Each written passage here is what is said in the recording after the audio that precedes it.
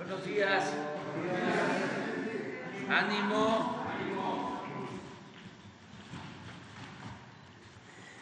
Bueno, hoy es miércoles y vamos a tratar la sección de quién es quién en las mentiras de la semana.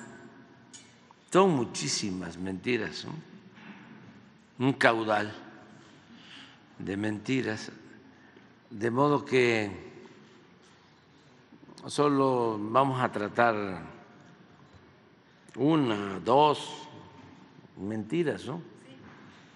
De muy poquitas, eh, porque no acabaríamos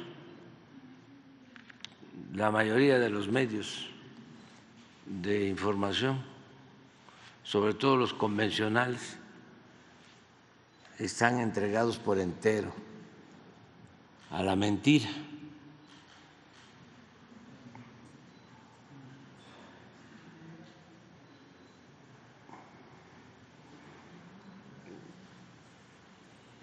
Y es nada más eh, seguir eh, haciendo conciencia en la gente para que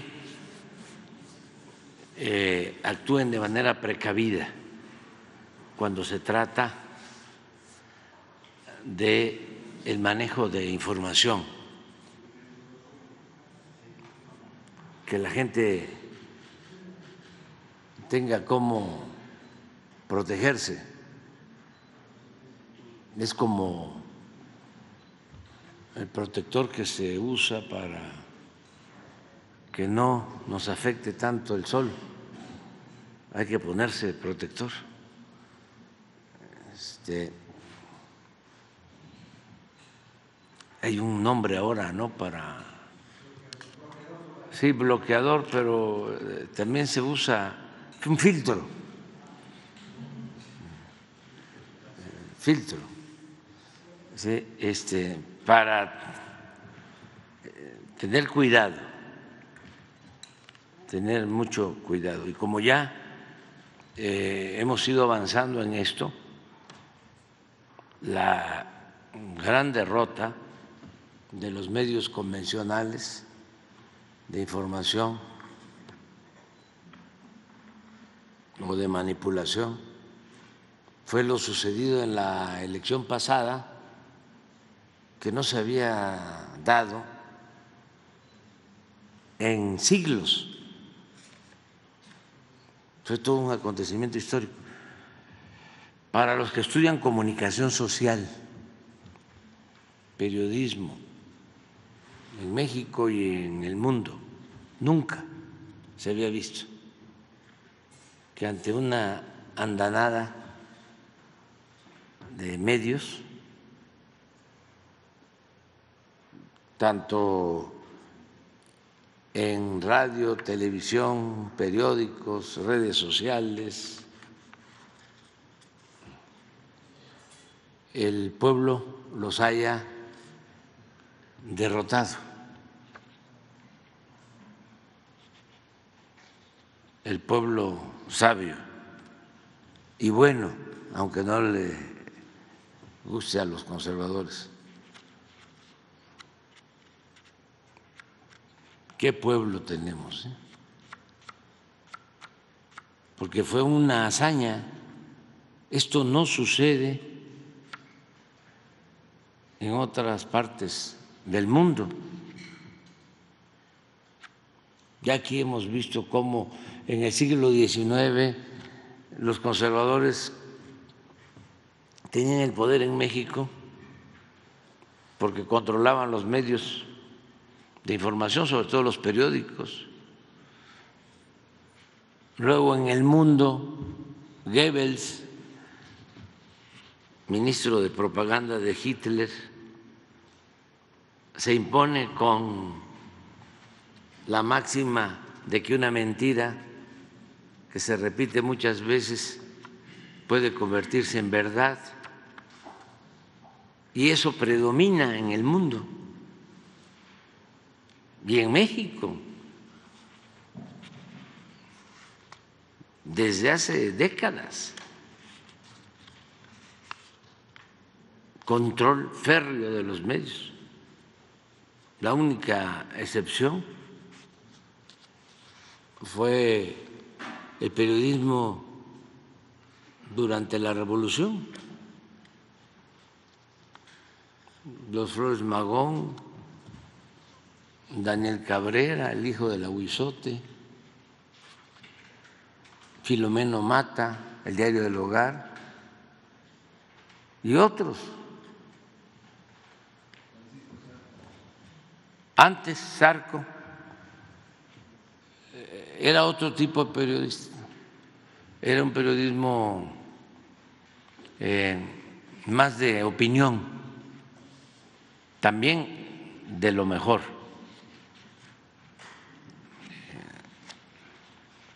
Los periodistas el movimiento de reforma y los que defendieron a la patria durante la intervención francesa.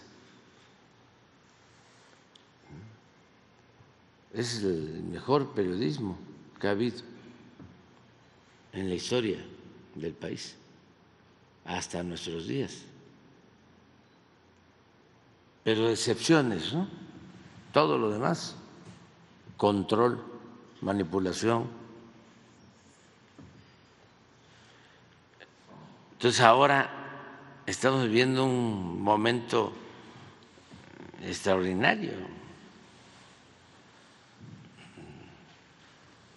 porque pensaban que con lo mediático, el poder mediático, iban a manipular a la gente y iban a regresar por sus fueros. Y no les funcionó.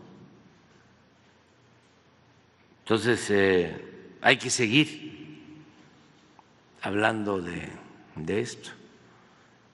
Y sobre todo hay que eh, pensar en la comunicación alternativa cómo participar en las redes, ya lo están haciendo los ciudadanos, incluso ya se están este, agrupando. También se ha avanzado mucho en eso, de que hay muchos sitios donde coinciden y se entera uno en las redes de este, cosas que no se dan a conocer en los eh, medios convencionales.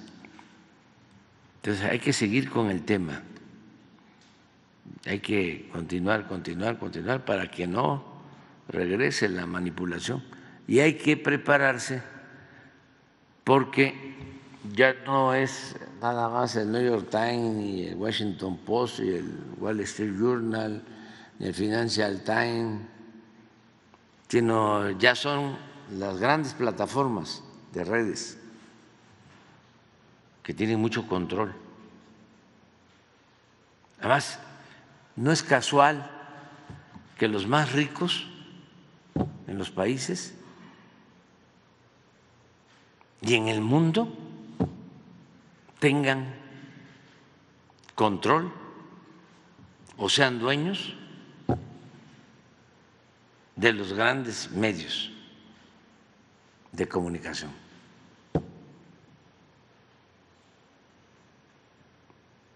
Porque eh, está bien que haya empresarios financieros importantes en el mundo, en los países, pero siempre están vinculados a los medios, sobre todo en los últimos tiempos. Y ante eso, ¿qué defensa del ciudadano de la calle, del pueblo raso.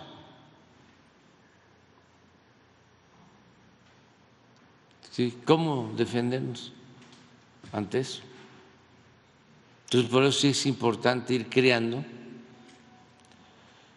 eh, más instrumentos, o mejor dicho, mecanismos de comunicación alternativos, porque va a ayudar mucho. Ahora, por ejemplo, eh, vino lo de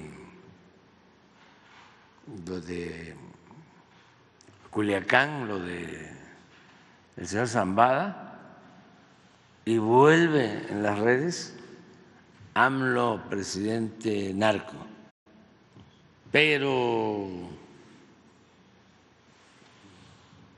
con todo regresa. ¿Y el dinero? ¿De dónde?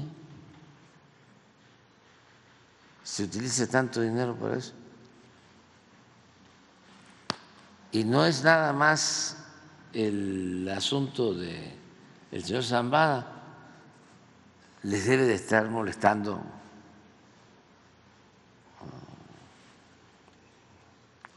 algo más, las reformas, este, nuestras posturas en política exterior. Entonces, a ver, vamos a ablandar al presidente.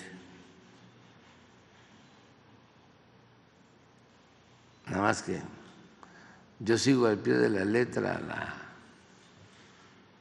recomendación de el dirigente que consiguió la soberanía del canal de Panamá, el general Torrijos, decía, el que se aflige, se afloja. Entonces, este, vamos ya.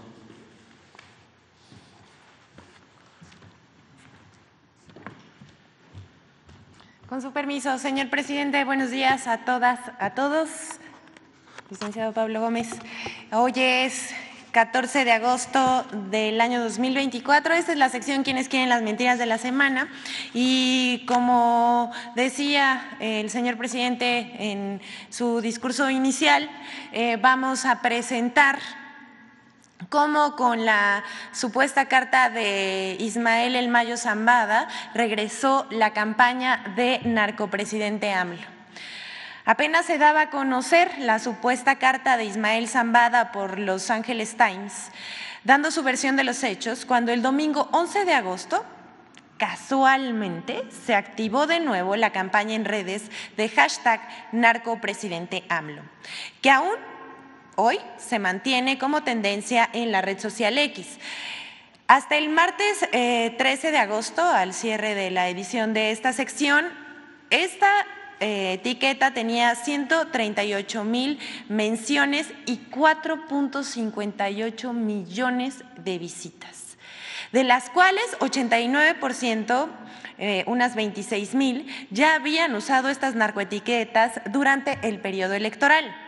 En tanto que el 80.79% de las cuentas coincide con las etiquetas que apoyaban a la coalición del PRIAN. Es decir, usaban mm, por un lado la narcoetiqueta y por otro lado apoyaban a la ex candidata a la presidencia de la República del PRIAN, Xochil Gálvez.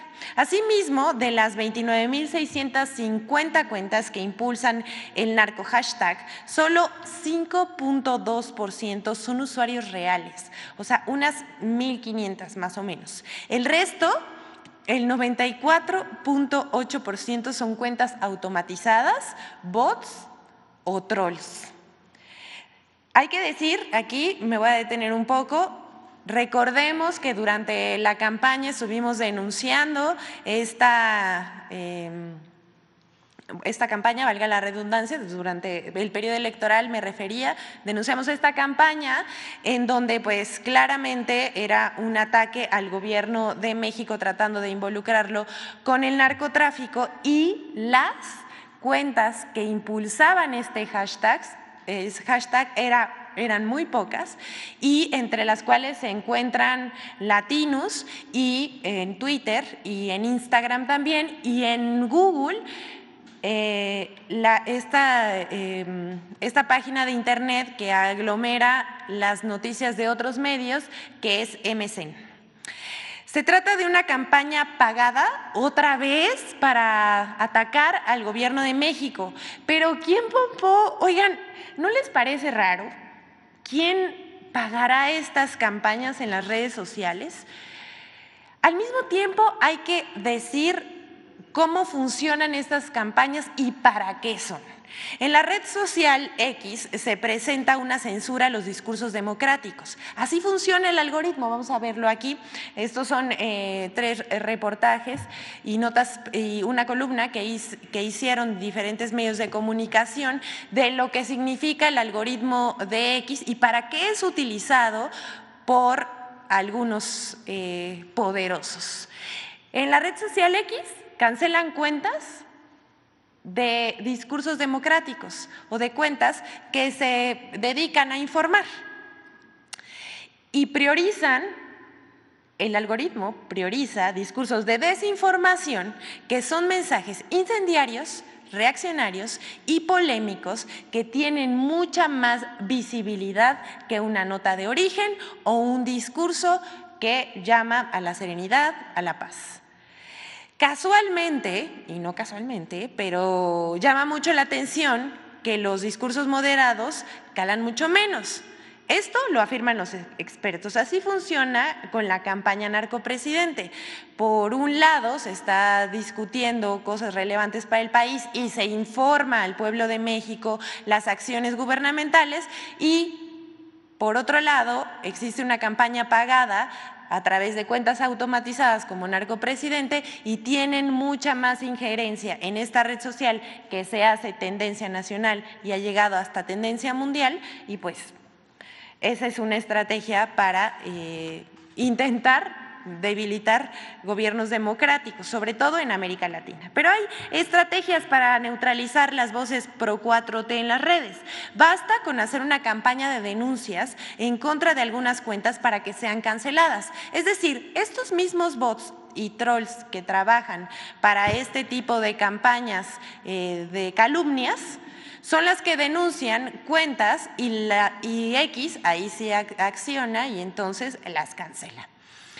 Eh, pero lo, contradictorio de todo esto y lo triste es que casi cualquier persona, e incluso menores de edad, mayores de 13 años, se les permite tener una cuenta en esta red social y en esa red social se permite el contenido violento y de contenido sexual explícito. Y ahí esa red social no hace absolutamente nada y se propaga por millones.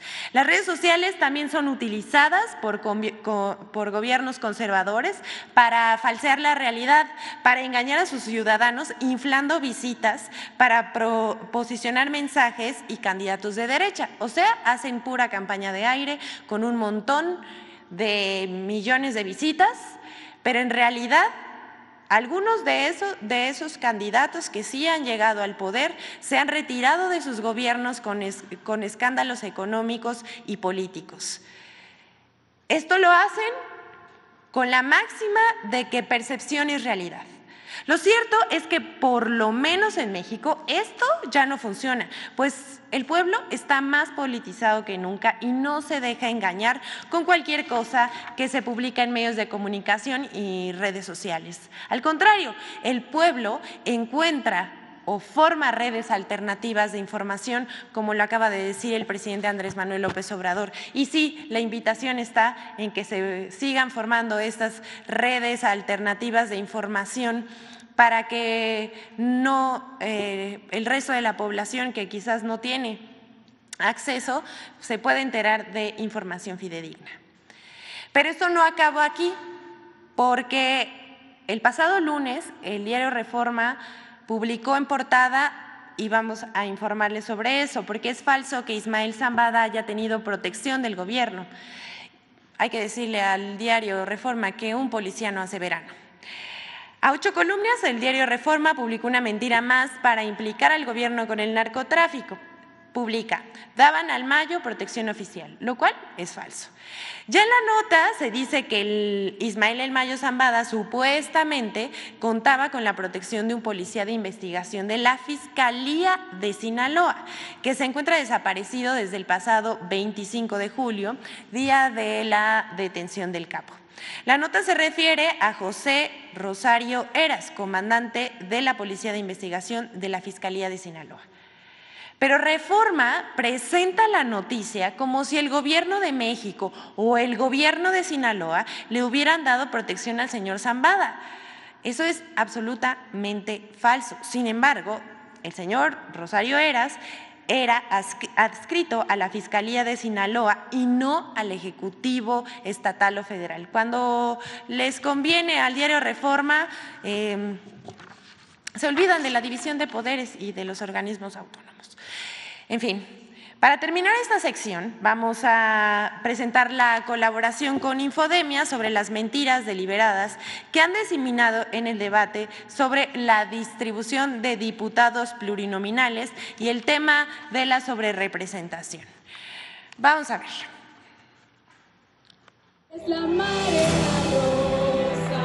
Mentiras sobre la elección y la falsa sobrerepresentación en la manifestación de la Marea Rosa del 11 de agosto. 1. Falso que Morena y aliados pretenden robarse 10 millones de votos. Pero hoy, con esa misma convicción les digo que se quieren robar 10 millones de votos. El proceso de asignación de diputados plurinominales no suma o resta votos a los partidos políticos. La asignación de las 200 diputaciones federales de representación plurinominal se realiza con base en el porcentaje de votos obtenidos por cada partido político en cada una de las cinco circunscripciones en las que se divide el territorio nacional. 2 falso que la coalición Morena, Verde y PT recibirá 74% de las curules con solo el 54% de los votos. Morena y sus aliados quieren tener el 75% de las curules que los mexicanos no les otorgaron. El 54% de la, de la votación. Ellos pretenden tener el 74% de la representación. Entonces, en nuestra opinión, eso vulnera el, uh, el, voto del 2 de junio, la voluntad popular. El oficialismo obtuvo el 54% de, lo, de los votos y el tope constitucional a la sobrerepresentación es de 8%. Sin embargo, el gobierno federal pretende que le asignen el 74% de la Cámara el número absoluto de votos o el porcentaje de votos en la elección no es el criterio para la asignación de diputados plurinominales. La asignación de las 200 diputaciones de representación proporcional se realiza con base en el porcentaje de votos obtenidos por cada partido político en cada circunscripción y no en la elección general. Además, en las elecciones del 2 de junio, como partido, Morena triunfó en 37 distritos y como coalición junto al PT y Verde triunfaron en 219, dando un total de 256 distritos de los 300 que componen a las cinco circunscripciones, equivalentes al 85% de los distritos, mientras que Acción Nacional solo ganó como partido en tres distritos, el PRI no obtuvo ningún distrito y como coalición vencieron en 39 distritos. 3. Falso que hubo fraude electoral. ¡Fraude! ¡Fraude! ¡Fraude! Regresamos unidos. Hubo un fraude enorme. O sea, en realidad no ganó Claudia Sheinbaum, no, fue no, fraude. No, no ganó Claudia. ¿Metieron votos de más en las urnas o Sí, cómo operó el fraude? Metieron votos de más y quitaron los votos de Xochitl. El pasado 8 de agosto, la Sala Superior del Tribunal Electoral del Poder Judicial de la Federación confirmó por mayoría de votos la validez de los resultados de los cómputos distritales que fueron impugnados por los partidos de la Revolución Democrática, Acción Nacional y Movimiento Ciudadano. Los magistrados consideraron que las impugnaciones presentadas por estos partidos no aportaron pruebas suficientes para demostrar la existencia de irregularidades que pudieran afectar los resultados electorales en los distritos cuestionados. Además, el pasado 4 de junio, Martín Faz, presidente de la Comisión de Organización y Capacitación del Instituto, aseguró que la narrativa del fraude es falsa. La narrativa del, del fraude o la narrativa de la elección de Estado son narrativas que no se corresponden con la, con la realidad. Infodem. Es cuanto, señor presidente. Muchas gracias. Buenos días.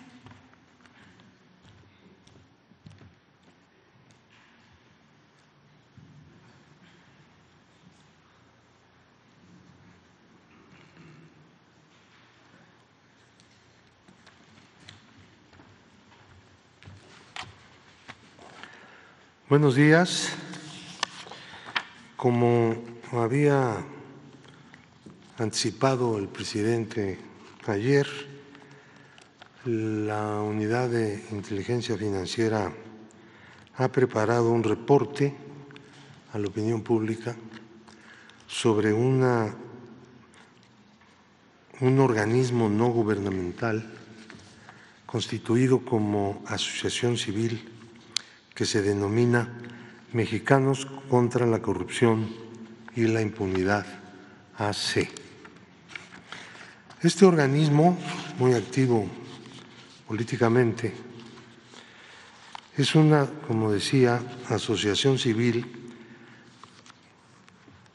proclamada sin fines de lucro, que se creó el 26 de noviembre de 2015 su objeto social es investigar causas y efectos de la corrupción y la impunidad, realizar propuestas para mejorar las leyes e instituciones, para prevenir actos de corrupción y lograr una correcta procuración e impartición de justicia, según proclama en su escritura. Obtiene recursos a nivel nacional e internacional por aportaciones voluntarias y donativos deducibles de, impuesto de impuestos para el donador. Tiene como apoderados legales a Claudio Javier González Guajardo y a María Amparo Casar Pérez.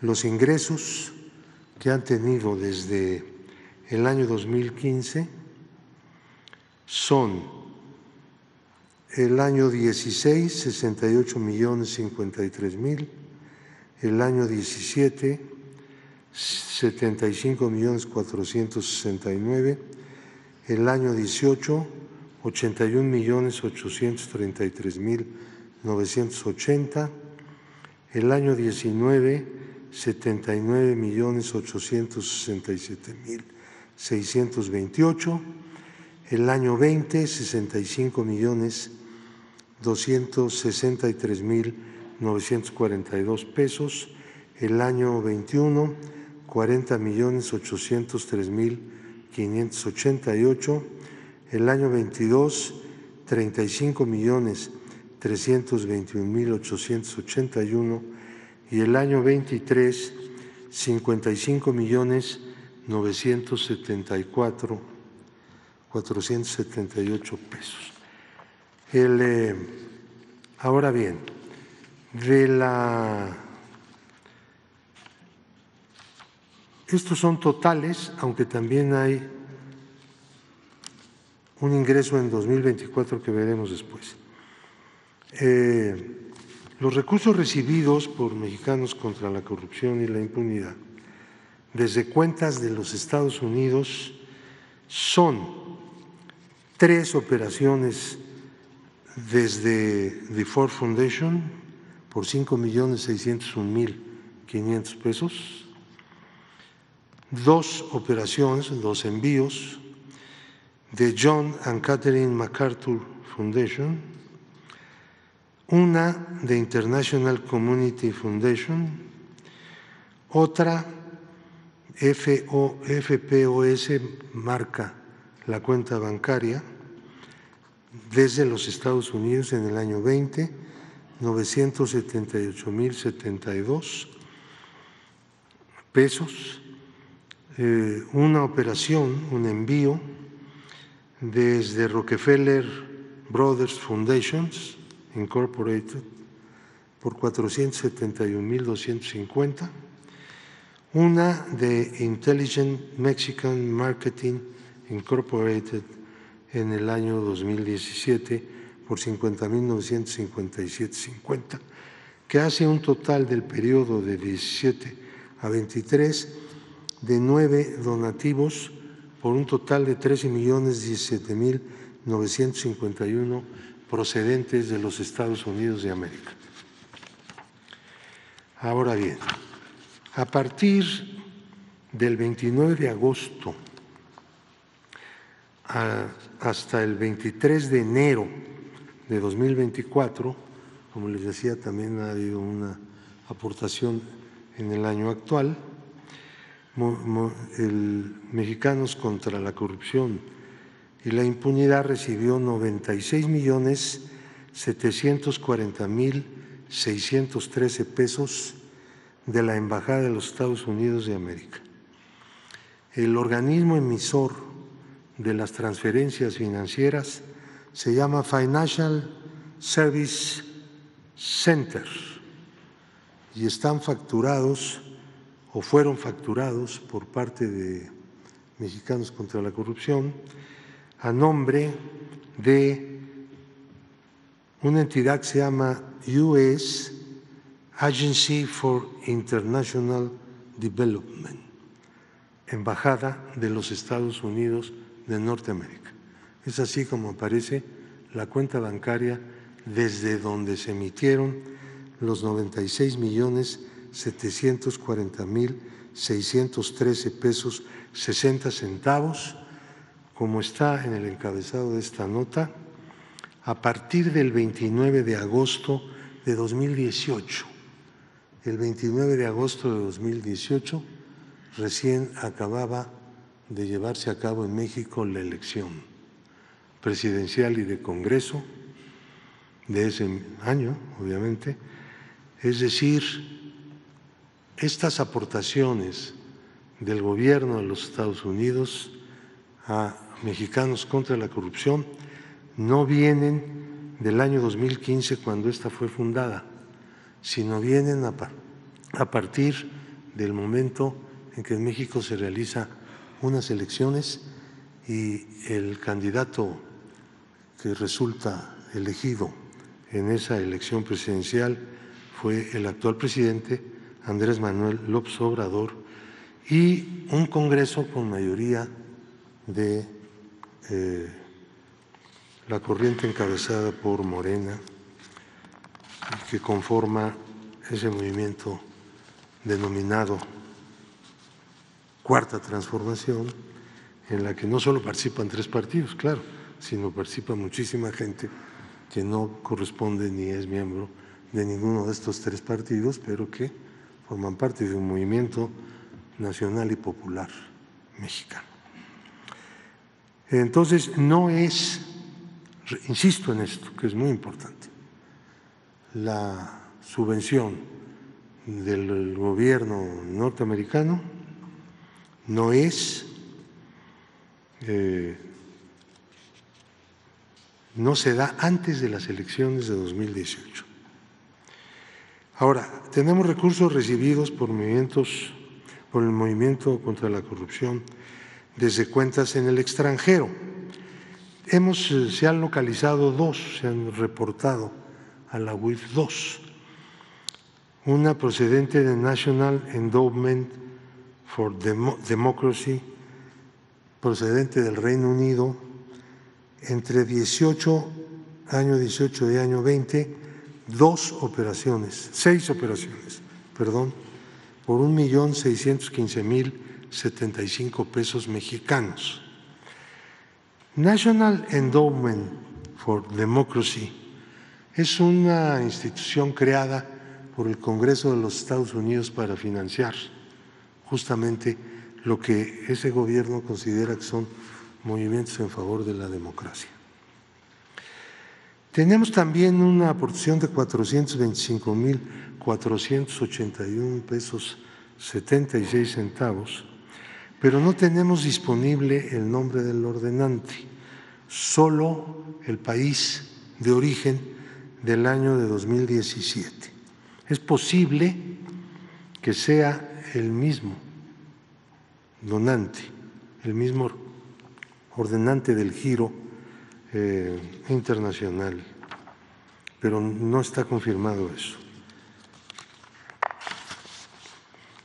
Ahora bien, durante el periodo de 2016 a 2023, Movimiento, digo, Mexicanos contra la Corrupción recibió 299 millones, perdón, 29 mil 62 pesos en México y desde México, de las siguientes personas morales, o sea, agrupamientos y empresas. Fundación Maelba, AC. Fundación Maelba está encabezada o forma parte como miembro importante, destacado, Valentín Díez Morado, que es una persona muy vinculada a consorcios empresariales muy poderosos. Están ahí también algunos otros este, prominentes empresarios y capitalistas de México.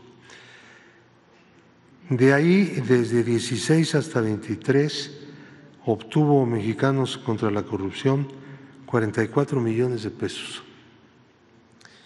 Aquí quisiera hacer un paréntesis antes de continuar. Estos donativos, de acuerdo con la ley mexicana que está en vigor, eh, son objeto de una concesión fiscal, se deducen para efectos fiscales en las declaraciones de las empresas y de los individuos. Este no, no es un subsidio del gobierno en turno, es un subsidio del Estado mexicano. El eh, indirecto que beneficia a las asociaciones civiles que están dentro de este estatus de organismos sin fines de lucros, sin fines de lucro que puedan recibir donaciones. Sin embargo, estas uh, organizaciones no informan a la sociedad, tampoco informan al gobierno a pesar de que reciben recursos o pueden recibirlo de la sociedad y a pesar de que quienes donan el dinero pueden deducir el donativo en el pago de sus impuestos. Sistema de observación por la seguridad, 34 millones 240 mil. Fundación Caluz, 19 millones. Fundación Unifin, 12 millones 200 mil pesos. Una cuenta de Banamex, 9 millones 500 mil. Fundación Alsea AC, 8 millones. Fundación Entera, 9 millones. Cayatia, está muy chica la letra. Kiara, SADCB, entre 2017 y 2020 dio 6 millones 600 mil. American Express Company, 6 millones 562 mil. Centro de Estudios Espinosa Iglesias, 6 millones. Laboratorios PISA, 6 millones. Fundación Magdalena Ruiz de Del Valle, 6 millones 900 mil. La Tesorería de la Federación le devolvió después de la declaración del año 21, hizo dos devoluciones por 5 millones 573, porque ellos también tienen pues, la capacidad de poder obtener la devolución de impuestos cuando estos han sido enterados a Hacienda por concepto de la facturación o del pago de sueldos y honorarios. Este Grupo México muy conocido de Germán Larrea, 5 millones. Nuplen Comercializadora SADCB, 5 millones. Tiendas Chedraui, 5 millones. Corporativa de Fundaciones AC, 8 millones 796 mil. Krill García Cuellar AISA, 7 mil, digo 4 millones 750 mil. Fundación Soriana AC, 4 millones. Ingenio Tala SACB, 4 millones. Operación y Manufactura Interceramic, 4 millones. Grupo Porcícola Mexicano, 3 millones 333 mil 340. Holzer y Compañía SA, 3 millones 255 mil 961 pesos. Fundación Empresarios por Puebla, 3 millones 200 mil pesos. Grupo Conéctame, SADCB, 3 millones 93 mil 419 pesos. Emilio y Casa Chávez, 3 millones 670 mil. Almacenadora Axel SA, 3 millones. Comercializadora Interceramic, 3 millones. Gigante Grupo Inmobiliario, 3 millones. Compulsos Soluciones, Compusoluciones, perdón, y Asociados SA, 2 millones 640 mil. Administración de Riesgos, 2 millones 200 mil. Banco Nacional de México, 2 millones. Evercore Casa de Bolsa, 2 millones. Frisa Forjados, 2 millones. Fundación Antonio Chedragui, 2 millones. Fundación Capital, 2 millones. Minera México, también muy conocida, un millón setecientos cincuenta mil. Una cuenta en Banco Azteca cuyo titular no conocemos todavía, un millón setecientos cuatro mil novecientos cincuenta y ocho. DINE, un millón seiscientos sesenta y seis mil seiscientos sesenta y seis. DEFRAC Integrated Services, dos millones. Embotelladoras Novamex, dos millones. Envases Universales de México, dos millones. Grupo Gigante, Estela Holding, un millón quinientos mil. Traxa, SAPI, un millón quinientos mil. Galicia Abogados, un millón doscientos veinticinco mil. Otra cuenta que no hemos identificado al titular, en Banamex, de un millón doscientos mil. Otra cuenta en Banco Azteca, un millón ciento ochenta y seis mil seiscientos nueve. Una, un donativo que no conocemos todavía al emisor, un millón noventa y nueve mil seiscientos noventa y uno con setenta y cinco. Copacer, un millón. Empresas y Servicios Organizados, SA, un millón. Fundación Ficosec, AC, un millón. Operadora Futurama, un millón. Shingnus SA, un millón. Seguridad y Justicia de Ciudad Juárez, un millón. Motfur o Motfor, un millón, perdón, 800 mil pesos. El ETEC SA, 630 mil. BOM, Bosever, Bos, Becer y Sierra, 960 mil. Grupo Trimex SA, un millón cincuenta mil. La Mosa Servicios Administrativos, 900 mil. MAPFRE Mexicamparo, eh, es una empresa conocida, 587, 730 pesos. Otra cuenta de Banco Azteca que no se ha identificado su, la persona moral que le emitió por 561.573. Alden SA, 600 mil. Servicios Rotoplas, 528 mil. Otra cuenta de, en Banamex, 500 mil.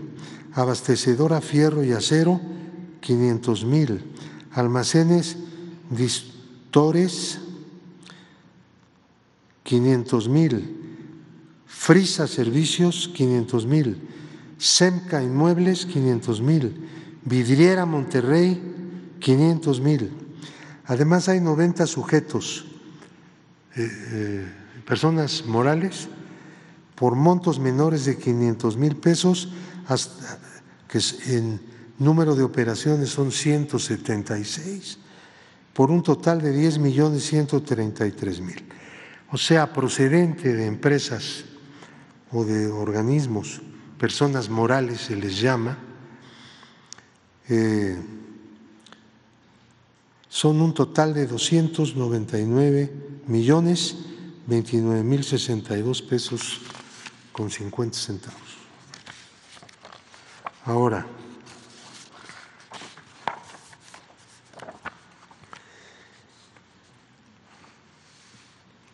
de personas físicas recibió Mexicanos contra la Corrupción de Claudio Javier González Laponte entre 16, el, el año 16 y el año 22, siete donativos por 16 millones 775 mil pesos que fueron deducidos de su base gravable,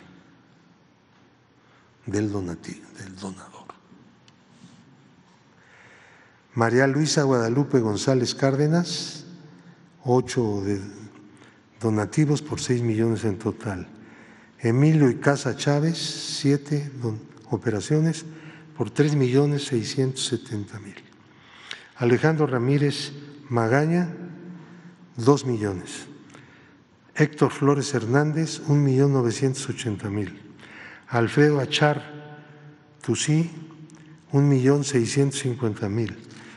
María Isabel Lazo Corbera, 1 millón 315 mil. Jaime Ignacio Krill y Cisniega, un millón. Teresa Guajardo Ortiz, un millón.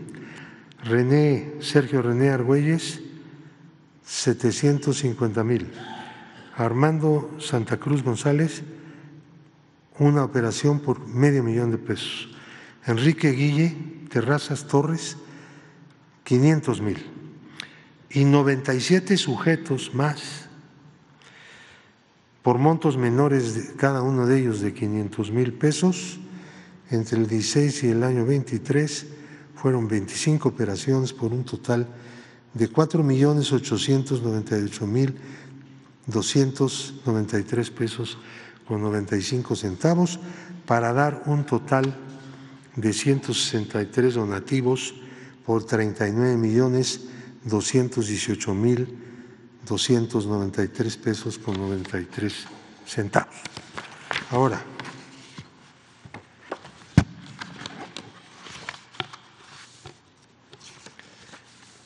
de los gastos.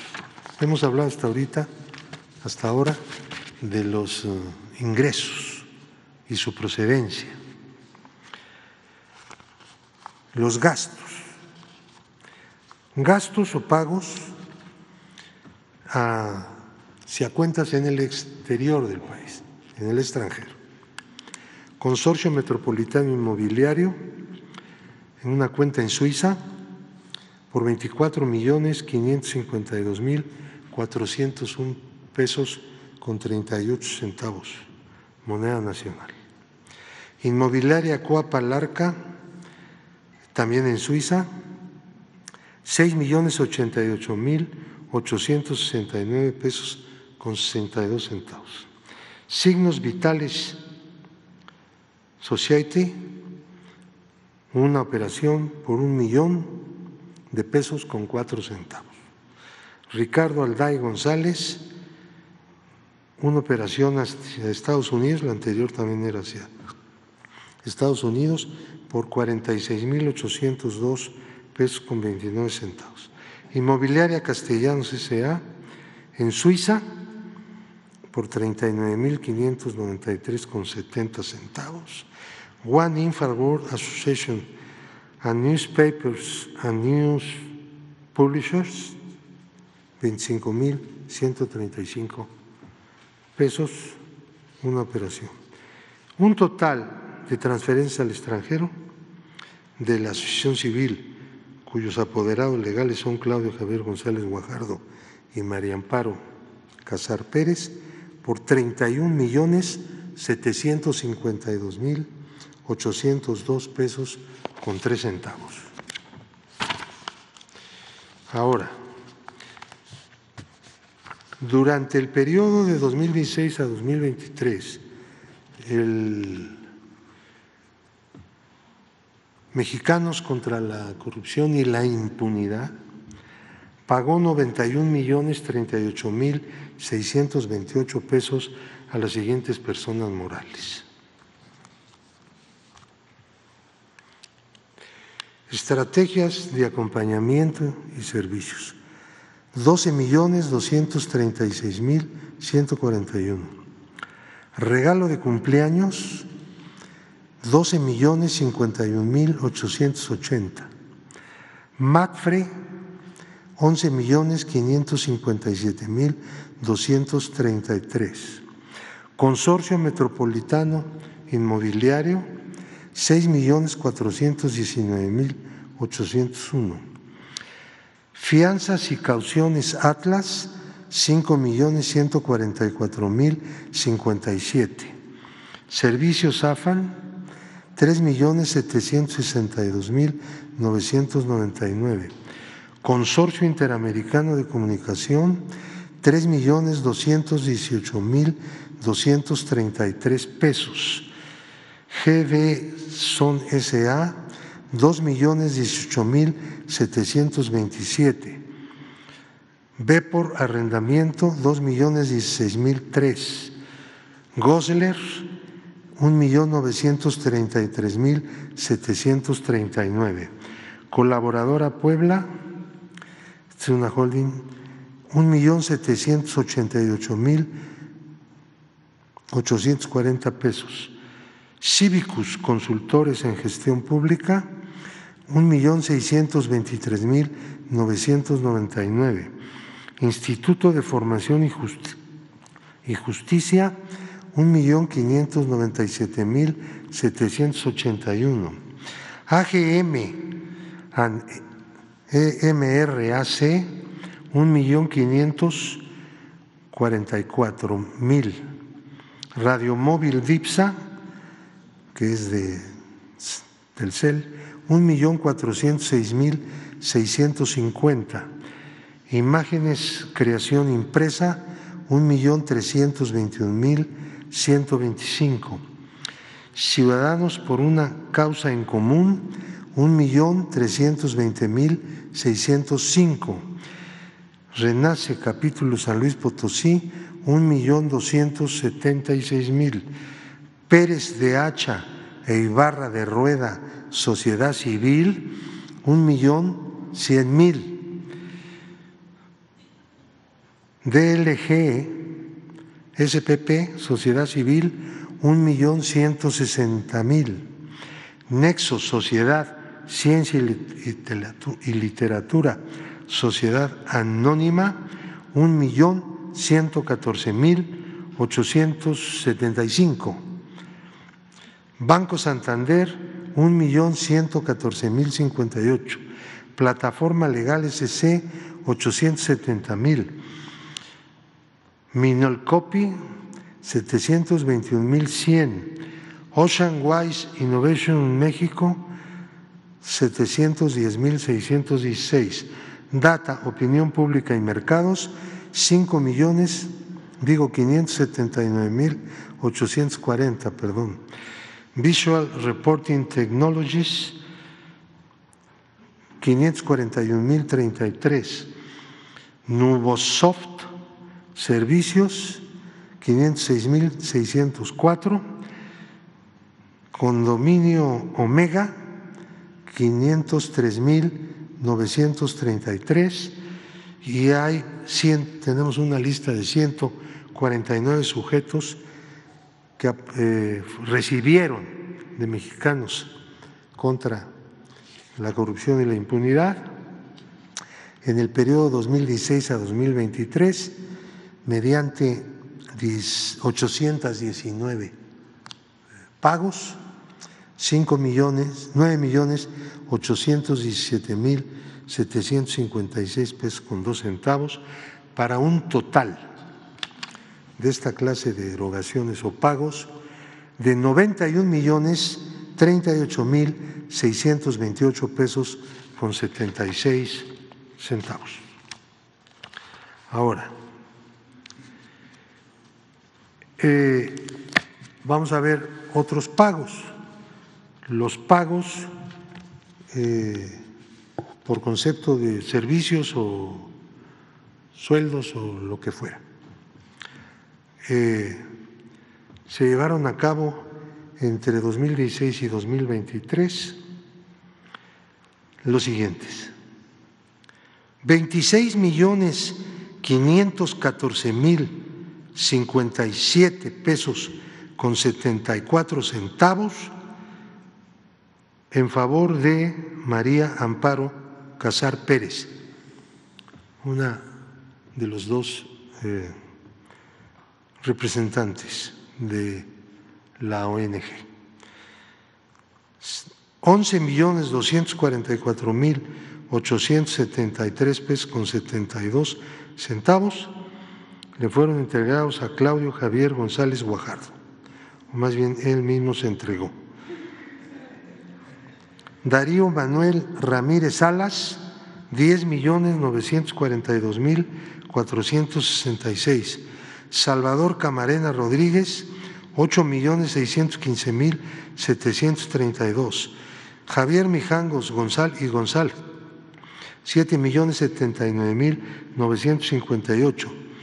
José Raúl Olmos Castillo, 5 millones 907 mil 706. Gerardo Carrasco Chávez, 5 millones 129 mil 382. José Daniel Lizárraga Méndez, 4 millones 656 mil 794. Leonardo Núñez González, 4 millones 324 mil 120. María del Carmen Trejo Antonio, 4 millones 116 mil 852. Sofía Isabel Ramírez Aguilar, cuatro millones cincuenta y cuatro mil ochocientos cuatro. Georgina Aldana Santana, tres millones setecientos quince mil setecientos treinta y ocho. Ricardo Alberto Alvarado Andalón, tres millones quinientos cincuenta y cinco mil trescientos noventa y tres. José Adrián Herrero Morales, tres millones veintinueve mil quinientos cuarenta y nueve. Lucía Viridiana Vergara García, tres millones seis mil cuatrocientos diecinueve. Isabel Arnós Canalizo, dos millones novecientos setenta y cinco mil ciento setenta y cinco. Luis Alvarado Ballesteros, dos millones novecientos setenta mil siete pesos. Hugo Barrera Muciño,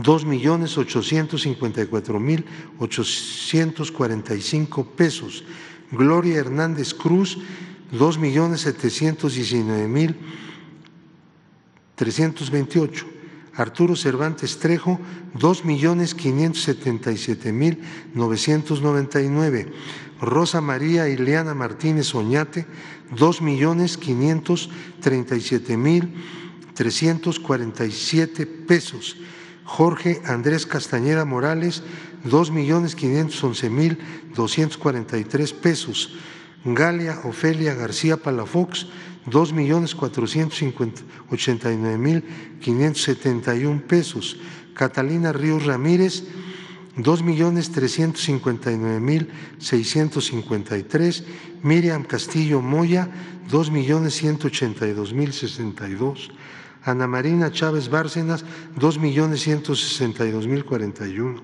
Valeria Noemí Durán Villanueva, dos millones ochenta y cinco mil cincuenta y ocho.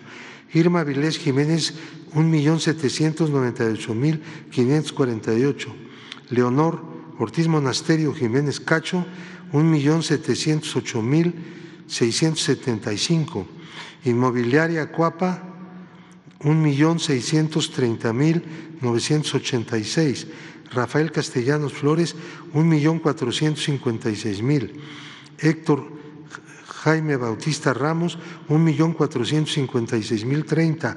Damaso José Luis Castillo Torres, 1.447.588. Emanuel Tonatzin Hernández Jiménez, 1.028.902. Marina Gómez Robledo Ramos, 1.423.673 pesos. Eugenia Castañeda Gómez Mon, 1.372.490 pesos con 95 centavos. Verónica Marcela Ayala Salazar, 1.366.988. Gabriel Escobar López, 1.269.142. Laura Consuelo Sánchez Ley, 1.259.777. Félix Gallardo Romero, 1.213.378. Claudia Telma Gómez Durán, 1.200.645. Yadén de Luna Jiménez, 1.012.792.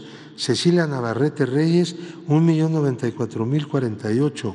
Julio Antonio Ríos Figueroa, 1.059.447.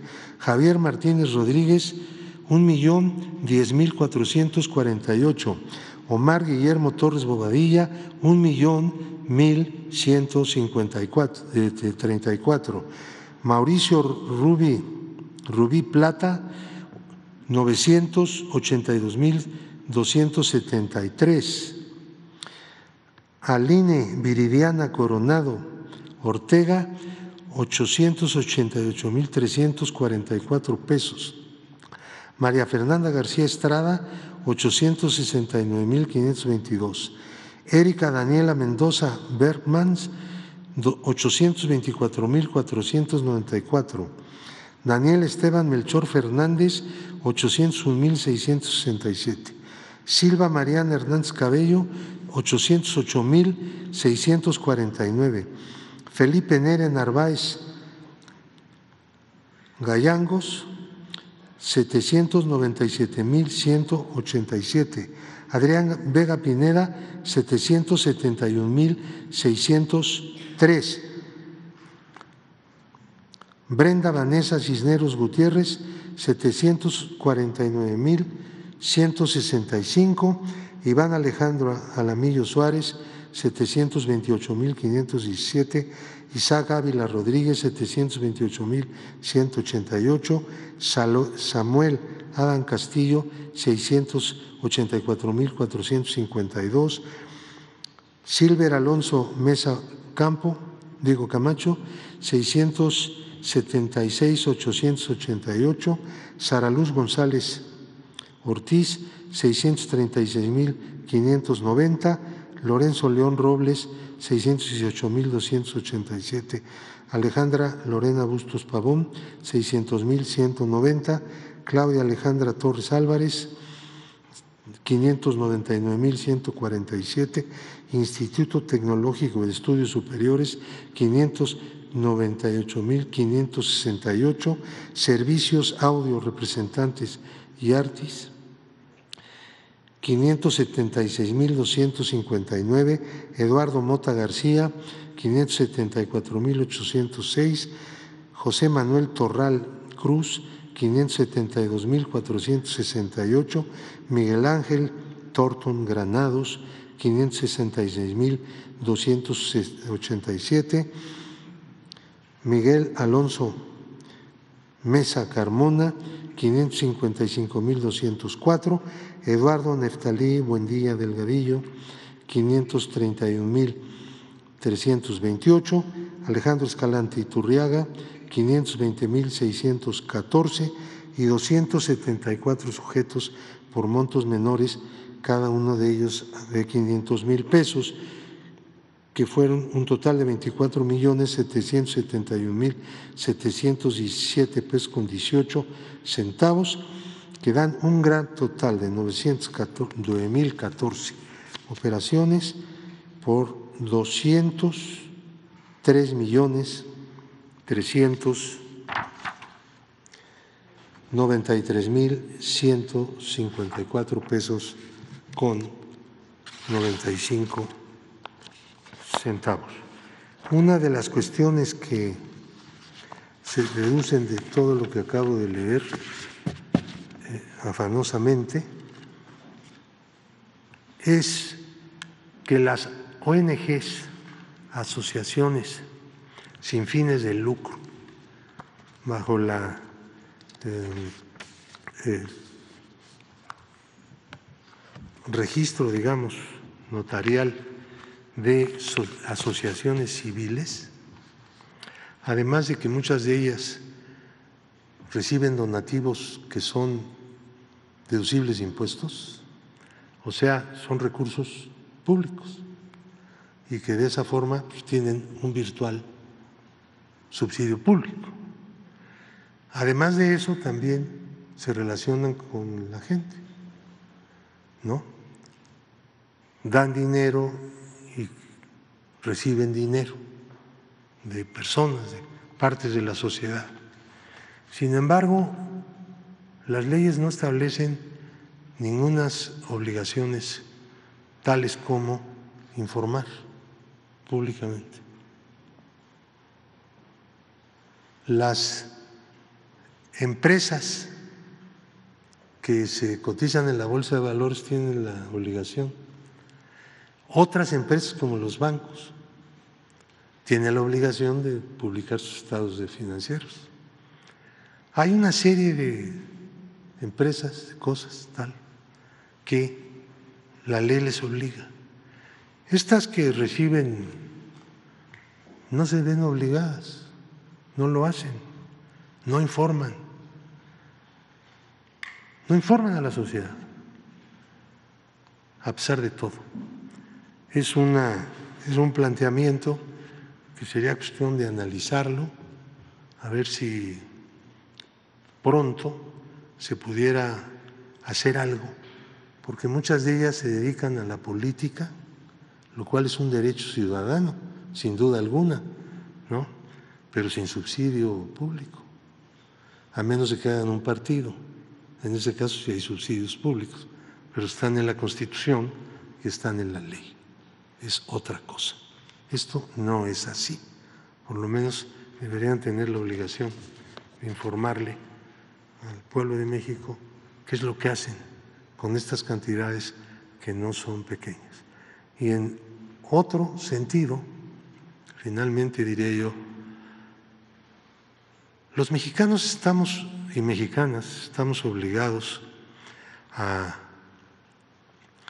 pedir permiso al Congreso para prestar servicios a gobiernos extranjeros.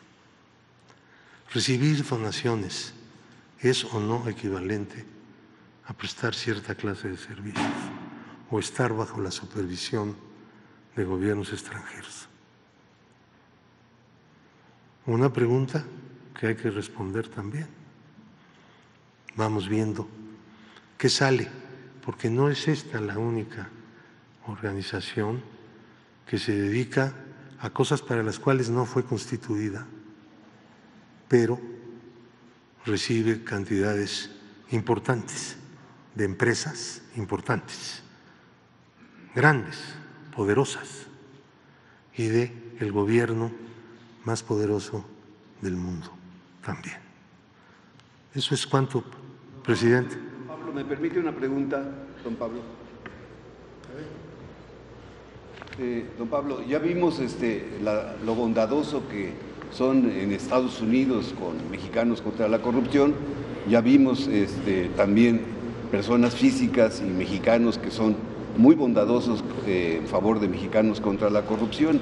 Eh, la ley dice que eh, solamente el 10% de los ingresos de, las instituciones que reciben donaciones tienen que ser destinados para el pago de, de sus empleados vemos cómo la señora Mario Amparo Casals, que usted acaba de señalar, recibe 26 eh, millones, eh, me imagino que de salarios, eh, y con la exposición que hace usted, ¿tiene las autoridades hacendarias, las autoridades de gobernación, el retirarle la autorización de donataria a mexicanos contra la corrupción?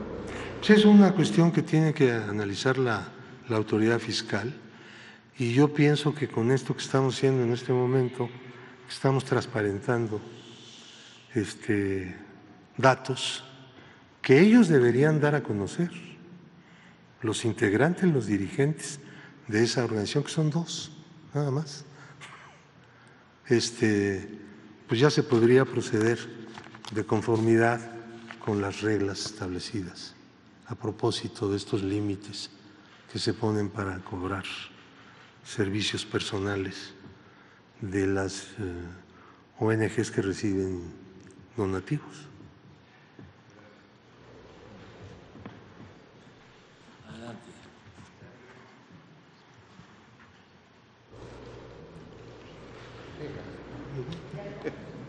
¿Sí? Por, por, lo pronto, como veo que todos van aquí a preguntar lo que quieren según la dinámica ¿quieren, de las conferencias. ¿Quieren preguntarle sobre el tema? Ah, bien. Pues ya me quedé aquí.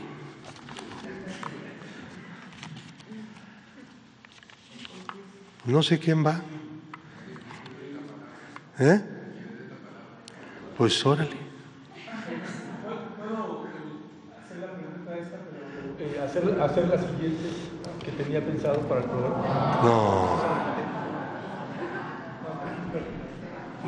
Entonces, a ver. So, sobre el tema. ¿no?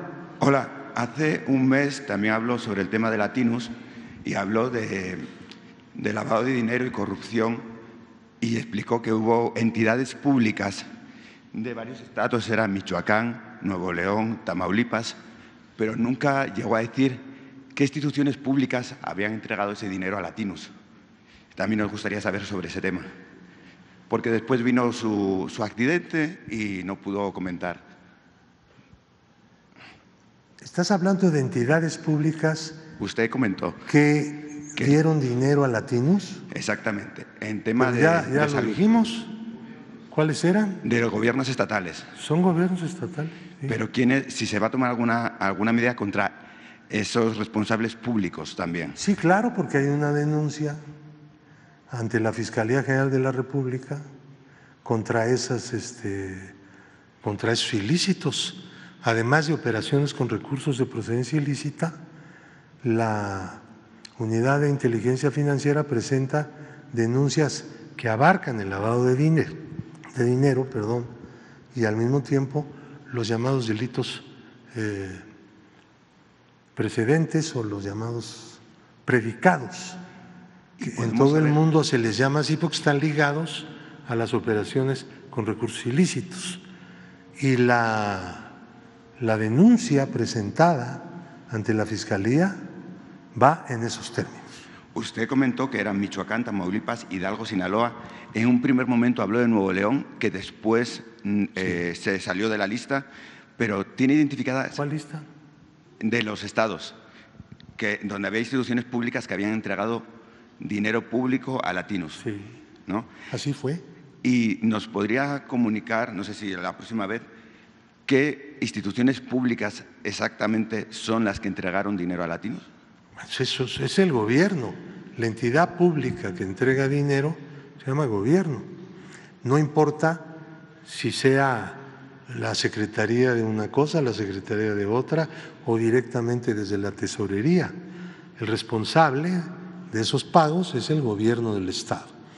¿A quién le toca saber exactamente quién autorizó el pago dentro de la administración pública? Es al Ministerio Público porque nosotros no tenemos ahí, el gobierno de México no tiene ahí autoridad para eso, más que cuando se trata del gobierno federal. Pero si es un gobierno de un Estado, pues no puede llegar a hacerle una auditoría, ¿verdad?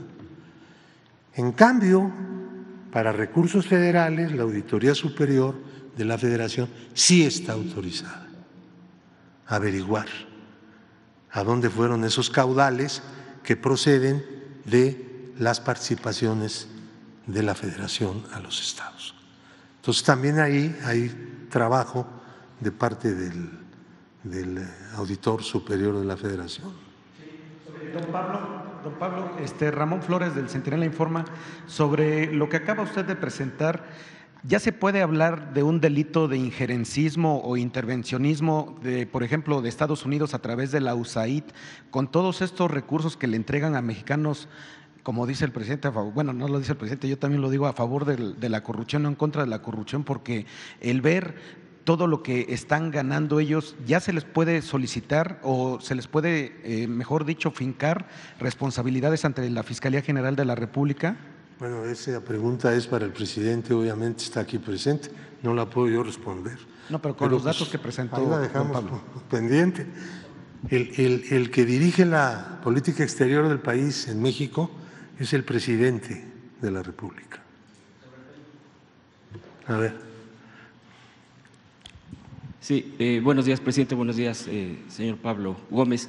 Eh, preguntar si de estos datos se tiene detectado si hay dinero de estas transferencias y de todo esto que ha ocurrido y que nos ha mostrado, si llegaron a las elecciones, en particular a la coalición que apoyó el señor Claudio X González, que encabezó, que encabeza esta asociación civil, si está detectado que haya llegado a eh, a la elección eh, pasada del 2 de junio eh, a la coalición Va por México o esto es otra cosa? No tenemos más informe a este respecto que el dinero que se autopagó desde Mexicanos contra la Corrupción, uno de los líderes de la coalición opositora que se creó en gran medida bajo sus propios auspicios, digamos, ¿no?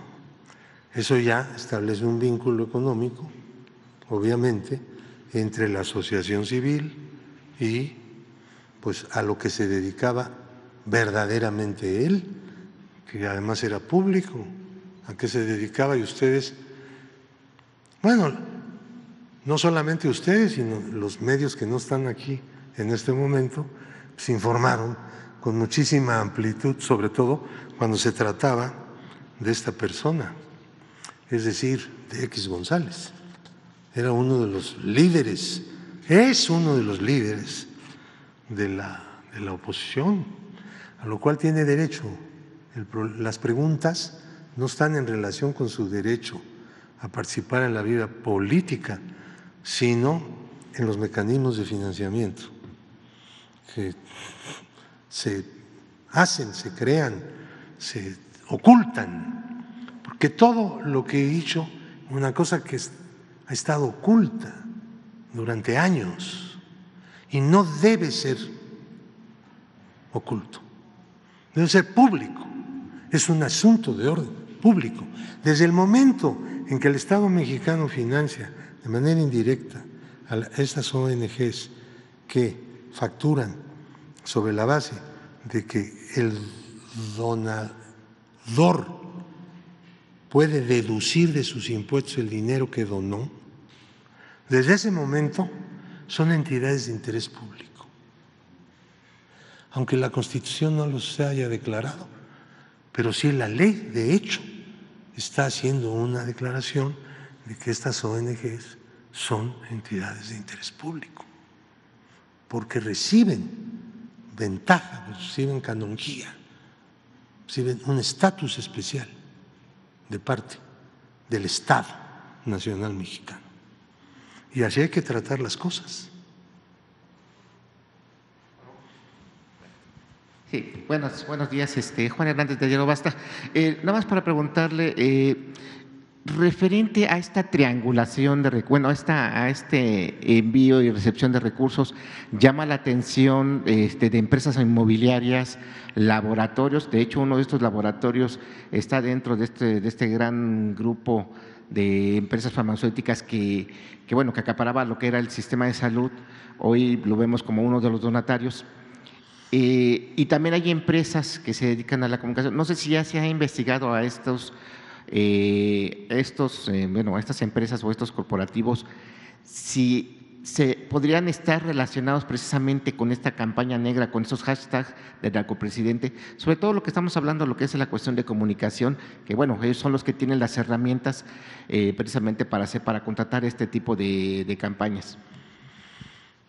Es que estás hablando del tema de latinos, porque ahí hubo empresas farmacéuticas que fueron usadas como las que cobraban el dinero que iba a dar a una No, empresa que- periodística. latinos, pero bueno, podrían estar Como mencionaste los laboratorios, Laboratorios, sí, claro. pensé que ni siquiera son laboratorios. Ahí estaba Laboratorios PISA en uno de los que estaban de los donatarios. Sí, mira, estás vinculando el gran problema que México tuvo, el mayor problema que México tuvo en las elecciones, no fue la actividad opositora, que esa es una cosa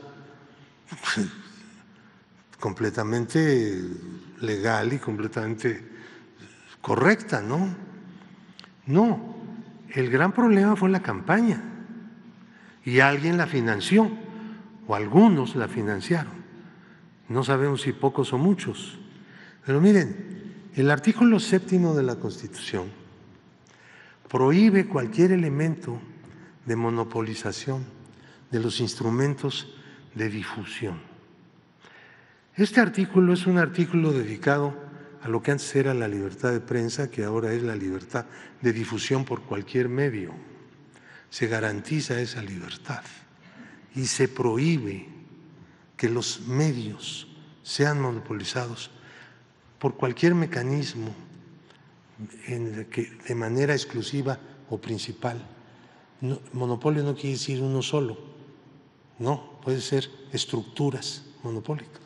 En la medida en que el dinero, el poder del dinero se convierte en poder de difusión, ya no solamente a través de la radio y la televisión como fue históricamente en México, sino también a través de las redes sociales, debemos tomar en cuenta que eso no lo permite el artículo séptimo de la Constitución, porque entonces ya la difusión no es tan libre como pretende la Carta Magna.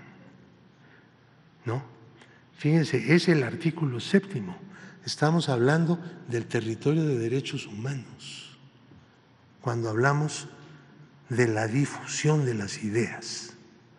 Entonces no es una cosa cualquiera, ¿no?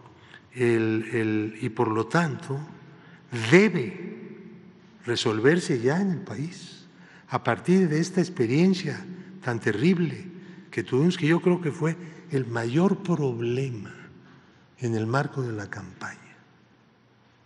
Ese. Y naturalmente pues, nadie fue a los tribunales electorales.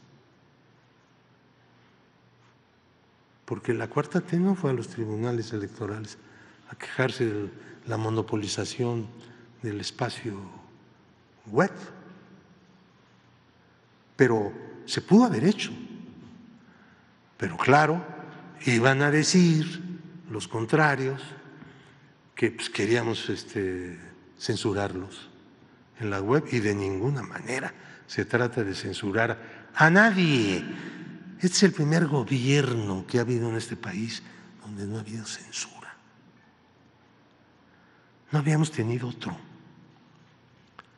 Y eso es algo que debe quedarse ya para lo que es lo que viene hacia adelante y no volver nunca a eso.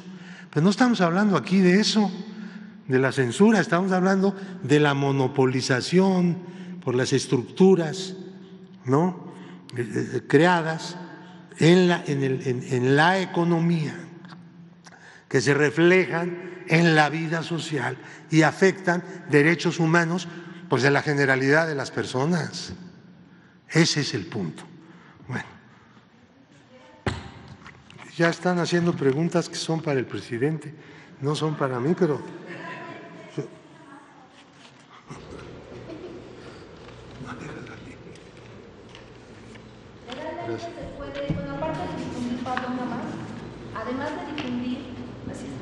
eh, Pablo Gómez, soy Tania Damián de Ángulo 7, además de difundir esta información, eh, pues porque es pública, eh, legalmente se puede, se puede hacer algo más por este dinero que la Embajada de Estados Unidos, estos 97 millones, manda a este tipo de ONGs y que podrían estar o que incidirían o estarían incidiendo pues en, en la política de México. Bueno, para eso es, ¿no? El presidente tendrá que decir al respecto lo que corresponde al gobierno, a, a la conducción, digamos, la política exterior. En eso no se mete la UIF, en la política exterior. Apoya la política exterior del gobierno, pero no la define, ¿verdad? ¿Esperan que esta nota diplomática que mandó presidente le respondan ahora sí? Porque ya pidió esa, esa información. Bueno, pues este eh, acerca de la información que aportó Pablo Gómez y le agradecemos mucho por eh, la claridad y la contundencia, porque se dan a conocer los ingresos, eh, de dónde provienen, también cómo se gasta el dinero. Corresponde a nosotros, y en efecto, tomar una decisión que va a consistir en dos eh, medidas. Una, eh, voy a enviarle una carta al presidente de Estados Unidos, el presidente Biden, sobre este tema.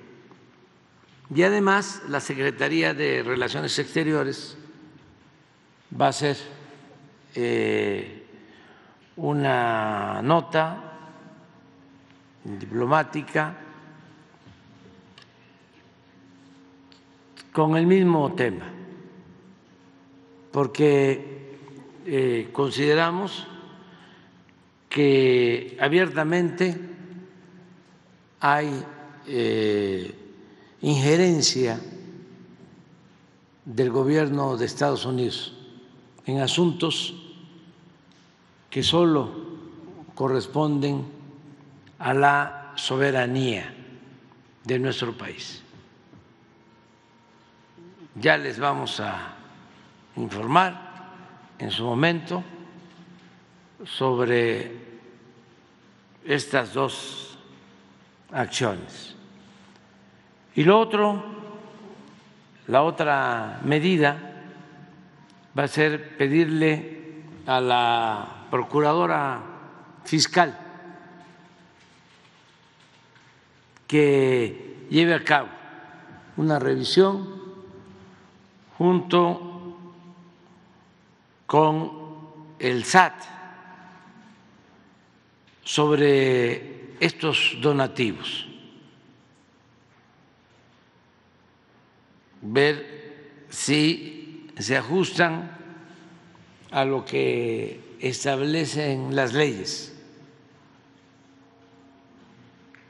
y que se nos presente un informe. Y como lo plantea Pablo, todavía estamos en tiempo de hacer algunas modificaciones, de presentar iniciativas de ley para que eh, no sea con recursos del mismo pueblo que se lleven a cabo campañas en contra de los intereses de la mayoría de los mexicanos. Porque cuando se deducen eh, impuestos por donativos, son ingresos que no llegan a la hacienda pública y que no pueden utilizarse para el desarrollo del país, en beneficio de todos los mexicanos, sino que cuando se regresan estos recursos y se utilizan con propósitos facciosos, se está eh, dando un uso indebido al presupuesto. Eh, y eso lo tenemos que, que revisar. Este, son las dos medidas que se van a tomar y pronto les vamos a informar. Quedamos Que no quedaron pendientes, ¿verdad? Nadie. Entonces empezamos contigo. Gracias, presidente. Miguel Arzate, del Sistema Público de Radiodifusión del Estado mexicano, Canal 14 y Altavoz Radio. Preguntarle, presidente, por este tema. Usted eh, habla de la buena relación que tiene con el embajador Ken Salazar. El día de hoy se nos dio cuenta que, particularmente desde 2018, poco antes de que iniciara su administración, pasada pues bueno, la elección y se supiera su, su triunfo en las urnas, eh, la Embajada de Estados Unidos en México comenzó a, a dar aportaciones a mexicanos contra la corrupción y la impunidad. Nos dicen que se han donado 96.7 millones de pesos en lo que va de su gobierno. No sé si se tenga registro que antes la Embajada de Estados Unidos diera dinero a la organización de Claudio X y preguntarle particularmente, presidente, ¿ha hablado de este tema con quién Salazar, eh, pensando en que tiene pues esa franqueza, esa relación eh, tan sincera con el embajador? Eh, ¿Qué respuesta le ha dado? ¿Se ha tocado el tema o no? Bueno, lo hemos tratado aquí varias veces, se ha hecho público, pero ahora lo vamos a hacer de manera eh, formal con la carta que le voy a enviar al presidente Biden, que se ha portado muy bien. Estoy seguro que él no está informado mm, de esta situación, porque eh, pueden estarle diciendo que es apoyo para una fundación que tiene el propósito de combatir la corrupción en México, cuando es exactamente lo opuesto. Es una fundación que tiene el propósito de mantener la corrupción y los privilegios, pero además que es una fundación eh, que en los hechos, de facto, dirige a todo el bloque conservador que está en contra del gobierno que legal y legítimamente se constituyó en nuestro país. Bueno, todavía el viernes a ver si repiten la imagen, digo el viernes, el domingo. Ahí está el director.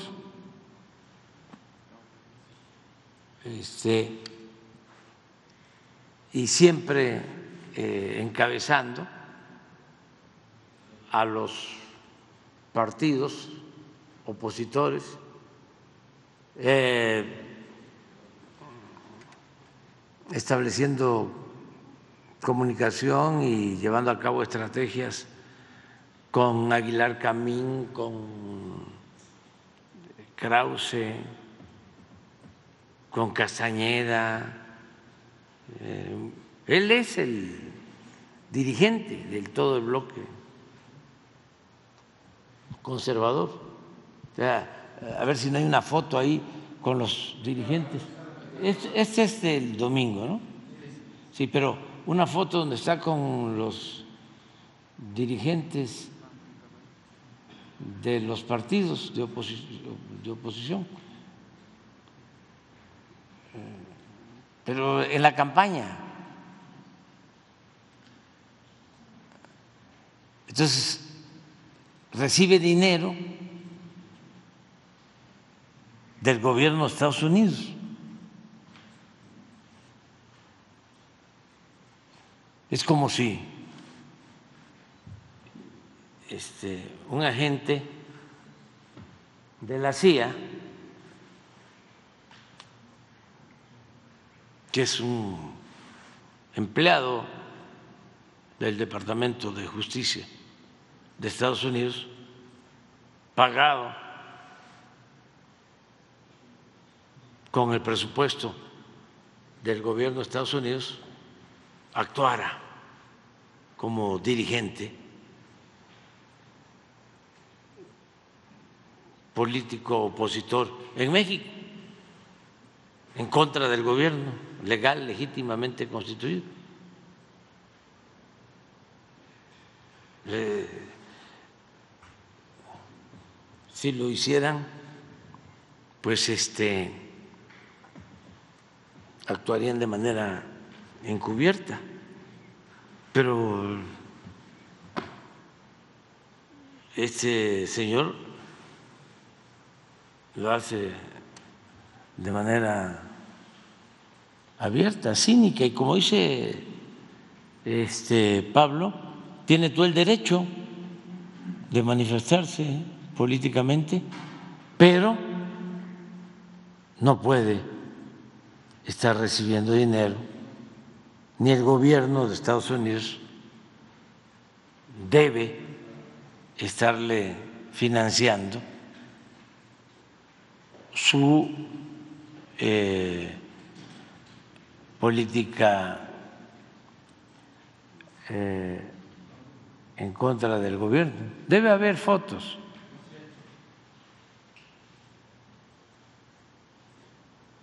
en donde están juntos. Y es de dominio público. Entonces vamos a ver qué, qué resulta sobre esta situación. Bien, presidente. Precisamente Claudio X González estaba ese domingo, el domingo pasado, donde está la imagen, en una manifestación en contra de la llamada sobre representación. Presidente, luego de que el Tribunal Electoral validó la elección presidencial, esta semana comenzó a desechar las impugnaciones contra la elección de legisladores, eh, senadores, diputados de representación eh, proporcional, no, no, perdón, mayoría relativa, eh, por mayoría relativa. presidente, preguntarle qué tanto esto podría ayudar pues a despejar, a, terminar con las, las, quejas en contra de la llamada sobre representación. Esta semana la Coparmex y otras organizaciones eh, firmaron una carta, la presentaron donde piden al INE y al Tribunal Electoral pues que eviten, dicen ellos, la sobrerepresentación que compromete, dicen ellos, la libertad de expresión y el equilibrio en un Estado de Derecho. Ellos llaman, llaman equilibrio en el Estado de Derecho. Presidente, algunas eh, columnas periodísticas hablan de que incluso la Coparmex tiene influencia sobre los magistrados en el Tribunal Electoral. Preguntarle también, ¿por qué hay tanta presión por parte de la Coparmex ahora con este tema de la llamada sobre representación? Bueno, porque eh, este, el Poder Judicial está al servicio de minorías, de grupos de intereses creados. Es un apéndice del poder económico del país. Entonces, no quieren ellos que el Poder Judicial atienda a todos los mexicanos como lo establece la Constitución, las leyes, sino quieren tener secuestrado el Poder Judicial a su servicio para seguir haciendo lo que hicieron el pasado fin de semana. Ya hoy a las cuatro de la mañana a ver si ponen la imagen, este, le dan la libertad a Mario Marín, un juez. Y eso es lo que quiere la Coparmex. O sea, para poner un ejemplo, no de hace seis años, doce años, veinte años, porque siempre nos cuestionan de que eh, estamos nada más pensando en el pasado. No, pues vamos a la actualidad. Vamos a, lo que presentó Pablo hoy y a lo del fin de semana mientras, mientras encuentran la foto de Claudio. Pero yo les, este, les digo otras cosas, otra cosa sobre eso. Dice, ¿por qué la Coparmex? Bueno, primero porque la Coparmex es un sector del PAN. Eso es de dominio público. Sí como antes, o existe todavía en el PRI, la CNC, la CTM, la CENOP, así en el PAN, siempre el sector empresarial de ese partido ha sido la Coparmex. Dirigentes de la Coparmex,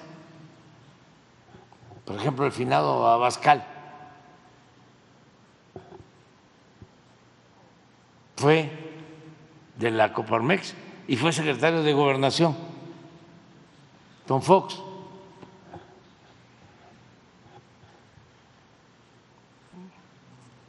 De este grupo, un expresidente de Coparmex, Gustavo de Hoyos, era también, este, o es, fue a acusarnos a España con el rey.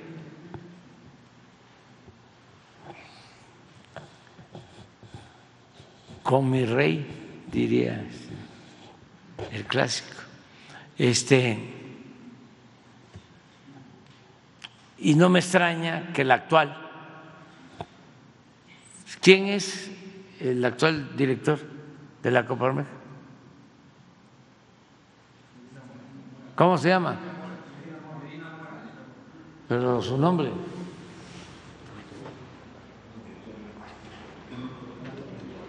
a ver si en una de esas, José Medina Mora, no es hermano del que estaba de, ¿cómo se llama? Ministro de la Suprema Corte, ¿es hermano?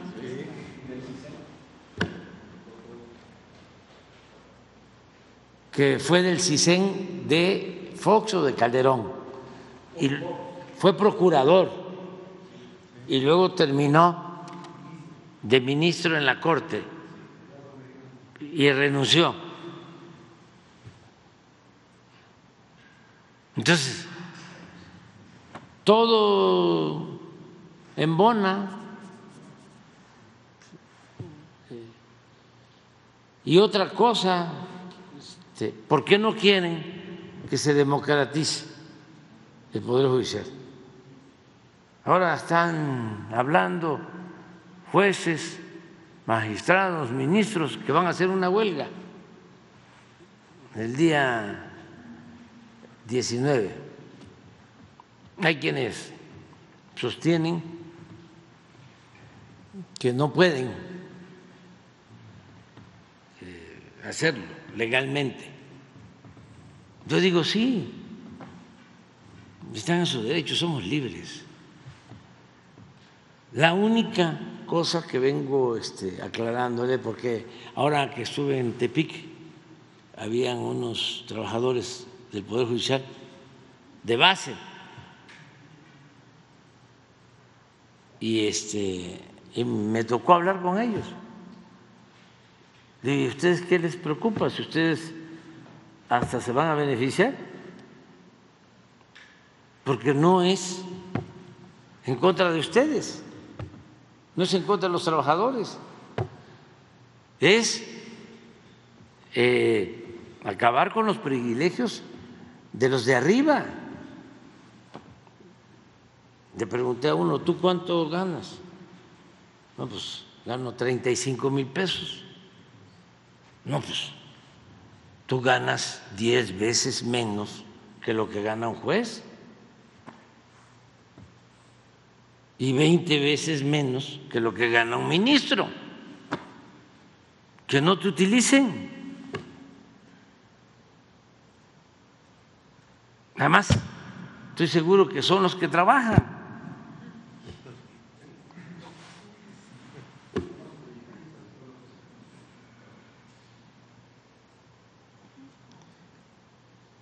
Y este, si van a hacer la huelga el 19, Pues nada más les encargaría yo, con todo respeto, que, me, que nos ayuden a resolver. Ahí tienen guardados dos expedientes como de 35 mil millones de pesos, que ya deberían de resolverlos. Dos expedientes, uno de dos mil millones y otro de 33 mil millones.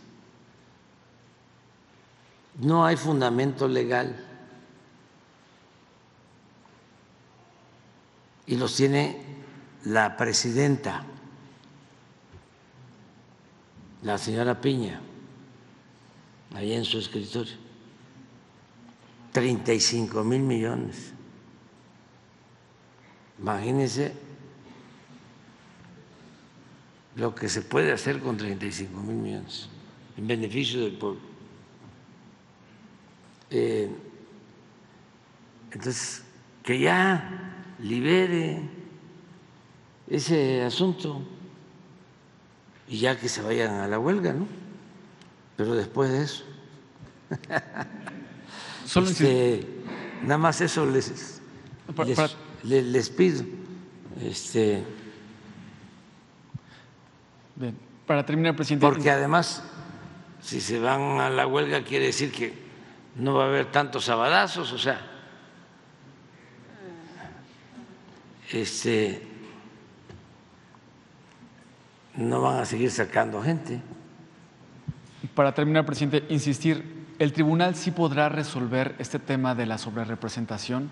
Sí, es a quien le corresponde, pero es una eh, actitud también muy deshonesta de parte del bloque conservador no sé qué les pasa, porque esto no les ayuda, porque no hay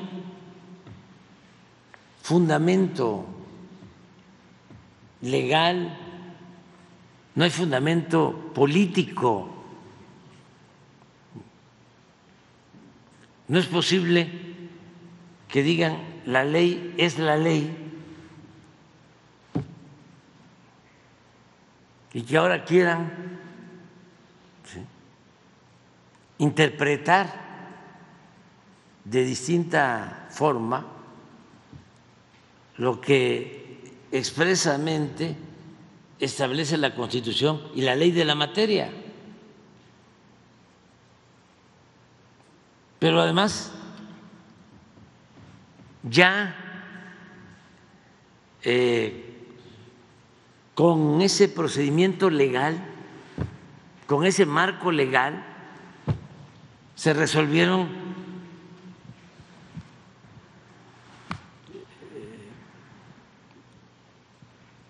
la distribución de los plurinominales desde hace, qué sé yo, 10 años o cuando menos cinco elecciones. Bueno, eh, los que están protestando, por ejemplo, el señor Córdoba, ellos ya resolvieron legalmente, de conformidad con lo que establece la Constitución y la ley de la materia. Y ahora ya no quieren que se este, resuelva este asunto de esa manera. Y políticamente está mal que mientras les ayudaba ese marco legal, no decían nada, se beneficiaban de lo que ellos ahora llaman sobre representación y no decían nada. Y los este, más audaces dicen, bueno, es que antes este, se hacía así, pero estaba mal. Pero ahora vamos a arreglarlo. Sí, se puede arreglar. Nada más que hay que modificar la Constitución y la ley. Porque si este, no se aplica la fórmula vigente, pues va a ser una violación a la Constitución y una violación flagrante a la ley de la materia. Entonces, ¿en qué quedamos? Nada de eso, nada de esto hubiese sucedido, desde luego, si ellos hubiesen hecho su trabajo como opositores y no hubiesen engañado a sus eh, militantes, seguidores, simpatizantes, pero eh, actuaron de manera irresponsable, además con un profundo desprecio al pueblo, pensando de que no iba el movimiento de transformación a lograr mayoría calificada. Y eso fue lo que les molestó más, sobre todo a los potentados, a los que no pagan impuestos, a los que manejan la corte. Lo demás sí les interesa, pero no tanto. Lo que ellos quieren es mantener privilegios. Entonces, tienen responsabilidad. Uno de estos donantes, no sé si aparece ahí, pero este, llegó a decir, es que eh, sabíamos que íbamos a perder la presidencia, pero no que este, iba a tener el movimiento de transformación mayoría calificada. Porque incluso por eso habían dado dinero. Ese señor al que me refiero que es del norte, empresario, que él sabe, este, dio dinero. Es de lo que recogió Claudio, porque esta es una parte. Esto es lo que pasa por el sistema financiero. Pero y lo que se entrega en efectivo y por otros medios y con otros mecanismos de simulación. Entonces, eh, qué bien que tratas el tema, o sea, ¿por qué dice, la, este, no quieren la reforma? Te pregunto, ¿quién es el presidente de Coparmex? El que, este, el hermano, claro que esto no tiene que ver con las familias, en las familias hay de todo, pero eh, hermano del que fue presidente de la Corte, que renunció. ¿Por qué? Fue procurador, don Calderón, fue, ¿qué otra cosa? Ah, del CISEN, o sea, del sistema de, de espionaje del gobierno. embajador, creo que en Estados Unidos, ¿no? Son lo mismo. Por eso también a las señoras, este, que son muy buenas personas, que este, eh, las llaman para, decía una señora que tienen grupos, ¿no? Sí, este, como cadenas, y las llaman y no tienen toda la información, pues que eh, busquen eh, más información para que estos camajanes no las manipulen, porque la verdad dan ternura, porque no es gente mala, es gente que está manipulada. Y este, pero por por todos ellos, por todos estos, y los medios, los medios de información, con honrosas excepciones. ¿eh? Pero a ver si está la, la foto. ¿Sacaron algo?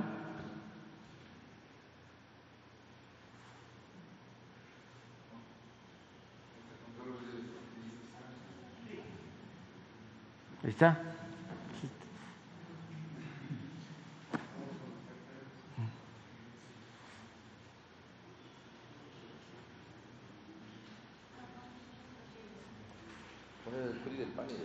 Sí. Esta se la voy a mandar al, aquí también esta se la voy a mandar al presidente. Este.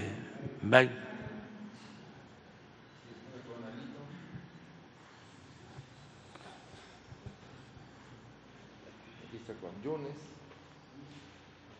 en Costa Naranjo, en la campaña. Es en Veracruz.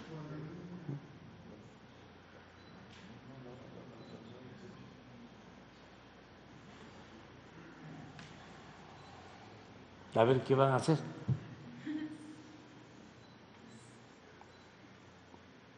¿Y qué otra cosa es que teníamos pendientes que íbamos a mostrar? Ah, lo de la salida de, de Mario Marín.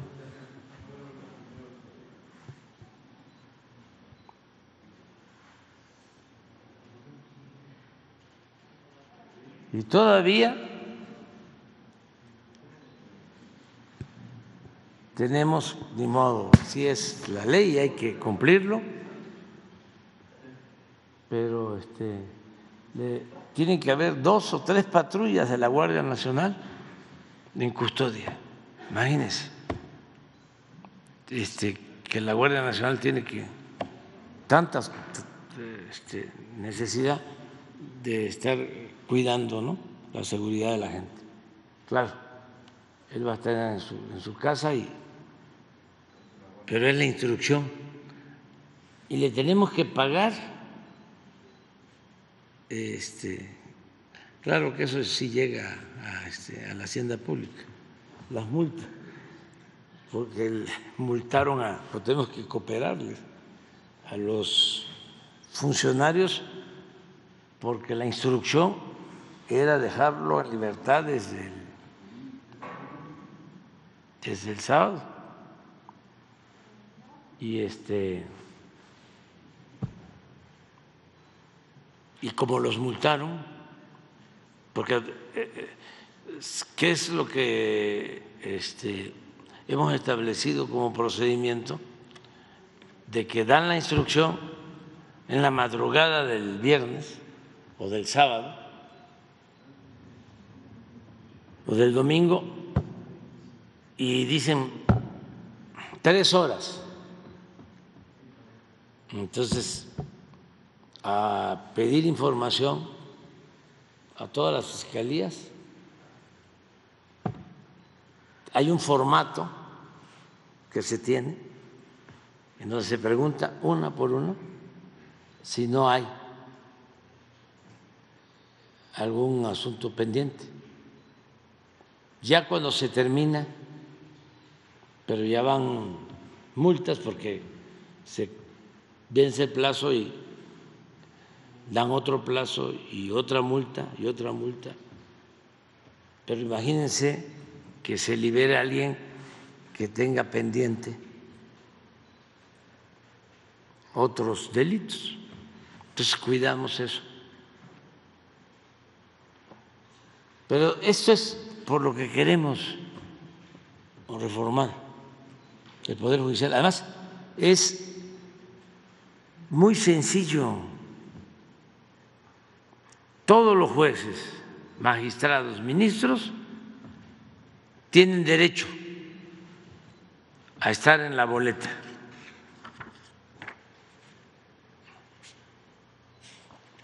O sea, tienen pase automático, todos van a estar en la boleta. Solamente los nuevos, si se inscriben, qué sé yo, este, 100 para un juzgado, y va a salir uno, y son 100 los candidatos, se está planteando un proceso de insaculación de los 100. Bueno, primero pasan a una comisión, cumplen los requisitos y quedan 100, porque pueden ser más. Todos los abogados jóvenes, mujeres, hombres, que tienen deseos de ayudar en la impartición de justicia, pueden participar. Y luego en una insaculación, pues ya quedan 10, cinco mujeres, cinco hombres, y ellos van a la boleta, más el juez actual o la jueza actual. Y ahí el ciudadano ve a los 10, ve también al que está ahora, dice, no, este ha hecho bien su trabajo, tiene experiencia, este, porque además van a saber quiénes son,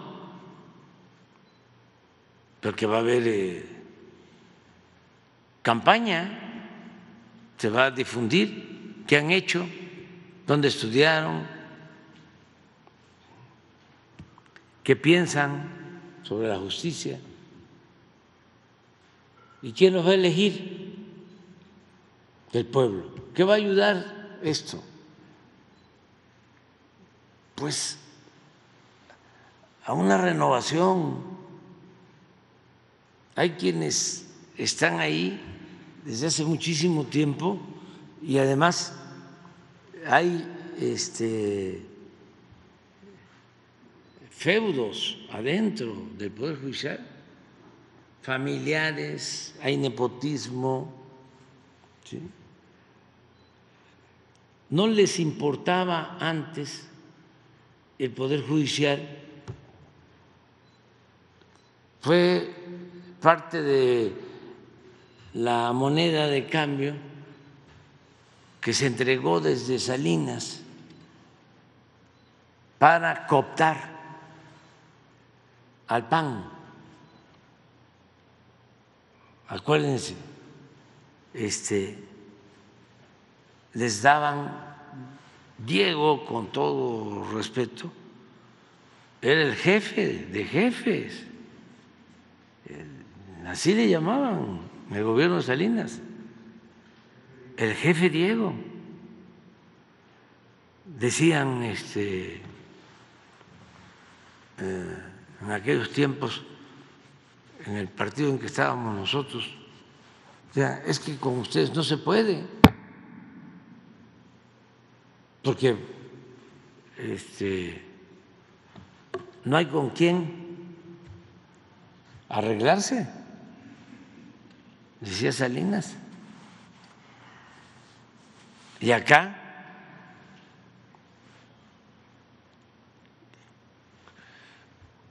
es Diego.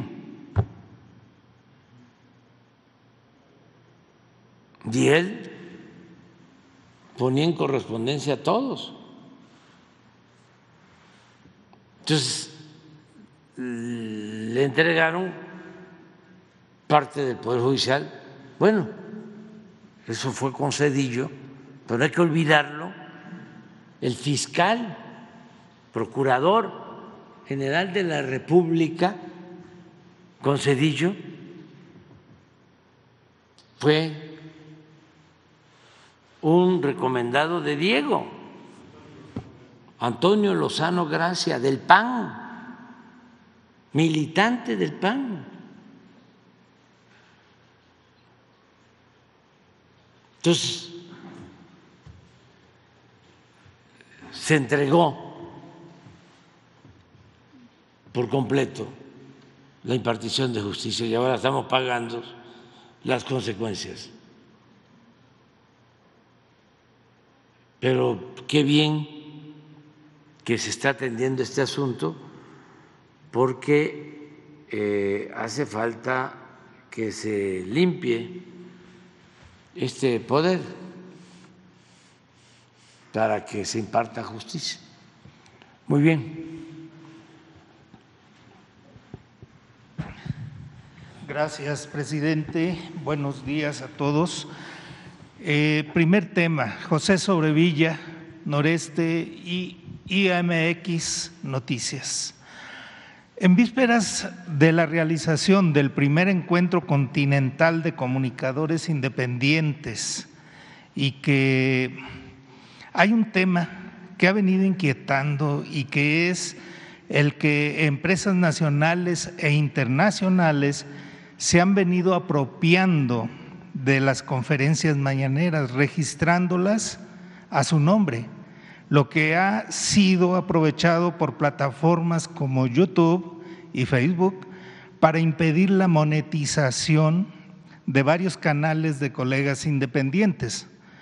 Ejemplo de ello fue cuando en febrero de 2020 el sitio Sin Censura recibió el reclamo de derecho de autor por parte de YouTube realizado por el canal de Univisión por un fragmento de una mañanera, o bien cuando el primero de junio de 2023 YouTube suspendió la cuenta de Sepropie justamente eh, por un asunto también de derechos de autor.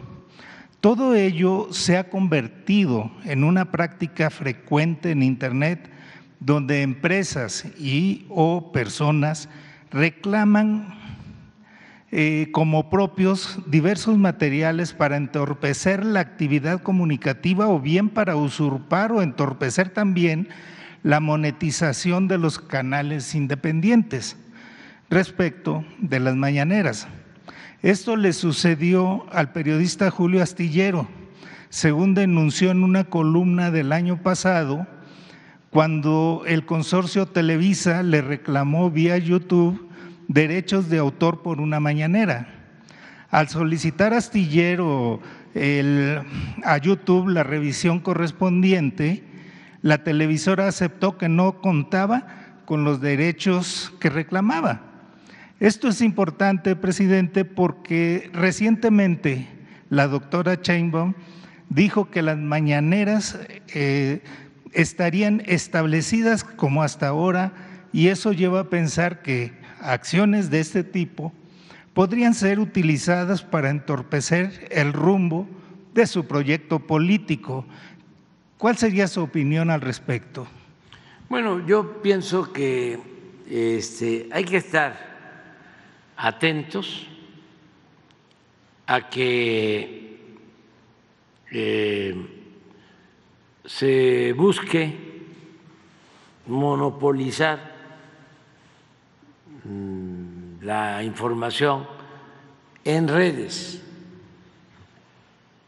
Ya eh, se ha hecho en los medios convencionales. Nosotros lo padecimos ya lo hemos hablado. Si no fuese porque el pueblo decidió que se llevara a cabo esta transformación y no fuese por este medio de comunicación, eh, estaríamos a expensas de los medios eh, empresariales dedicados a, al control de la información. Entonces, ya eso, yo creo que ya lo superamos y qué bueno que la, la presidenta electa va a mantener este mecanismo de información, porque es un derecho de réplica. Además, eh, eh, existe el derecho a la información. El gobierno tiene que informar. Entonces, eso es muy bueno, porque si no, pues depende uno de estas empresas. Y manipulan, eh, distorsionan las cosas o chantajean, porque lo que más eh, predomina en el manejo informativo o la manipulación va de la mano, va acompañada de la corrupción. Es utilizar medios para chantajear, para obtener prebendas, para obtener contratos, para sacar dinero del erario o para hacer influyentismo y beneficiarse. Entonces, si hay eh, información directa, no hay problema. Este, pueden aparecer las este,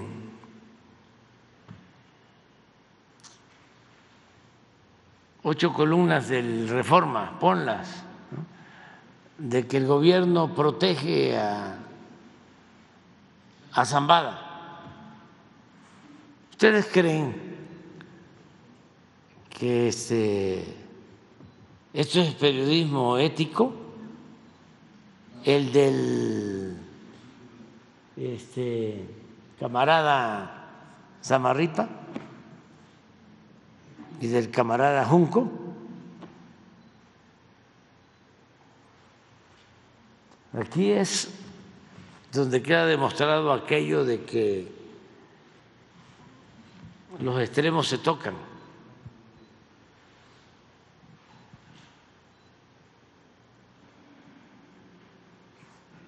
Es como las ocho columnas del dos veces galardonado con el Pulitzer. Este, igual, recibe López Obrador dinero del cartel de Sinaloa, pero no es pregunta, porque pone los signos de interrogación. Es un manejo tendencioso. Ya si se ve en el cuerpo de la nota, puede ser que ahí aparezca de que se trata de un policía judicial de Sinaloa. Pero el que lo ve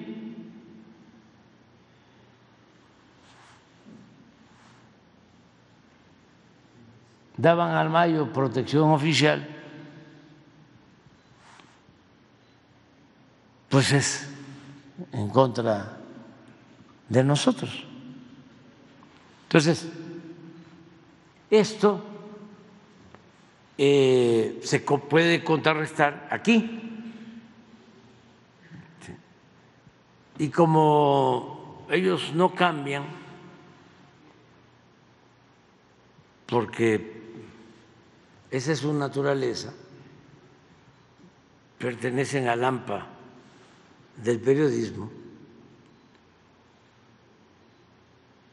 la autoridad tiene posibilidad de defensa. Si está informando, si está replicando. Por eso es muy bueno el que eh, la presidenta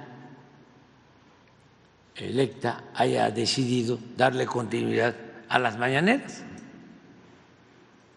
porque no va a depender de lo que diga el canal de las estrellas o este, esta noche en hechos o de los camaradas del, del Reforma o de los del Universal, etcétera, etcétera, etcétera, con honrosas excepciones. Pero esa es una parte, esa es una parte. Lo otro que lo considero todavía más este, peligroso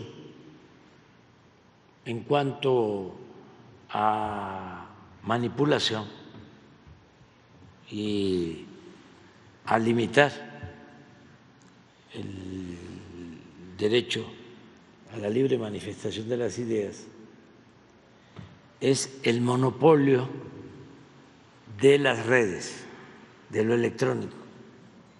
Como ya esto está en desuso, lo nuevo son las plataformas, las grandes plataformas. Y ante eso hay que crear este, mecanismos alternativos, no descuidar eso, porque eh, Elizabeth hablaba de cómo pueden eh, darle más énfasis a una noticia ¿no? en redes y quitarle ¿sí? este, fuerza a la noticia que no les conviene. Sí, sí. Y en general la información que predomina ya en redes, en lo que tiene que ver con información política, ya está muy sesgada, ya es muy tendenciosa. Entonces, qué bueno que van a tener el Congreso y hay que tratar estos temas, este, porque va a ayudar mucho a tener eh, formas de comunicación y eh, eh, no dejar también en esto no dejar de pensar en la mayoría del pueblo. Está muy difícil que puedan ustedes convencer a los intelectuales orgánicos o a los expertos o a los de la llamada sociedad política. No, no, no, no, no, no pierdan mucho el tiempo en eso. hay que este, eh, continuar con la revolución de las conciencias y este, la elección de la elección fue de que la fuerza está en las mayorías. Y esas eh, las ignoran los medios este, tradicionales o las mismas redes. Este, y no dejan de ser muy limitadas. Entonces hay que buscar siempre mecanismos de comunicación masivos, eh, que la verdad se abra paso y llegue hasta el último rincón del territorio. Eh, y en eso no dejar el periódico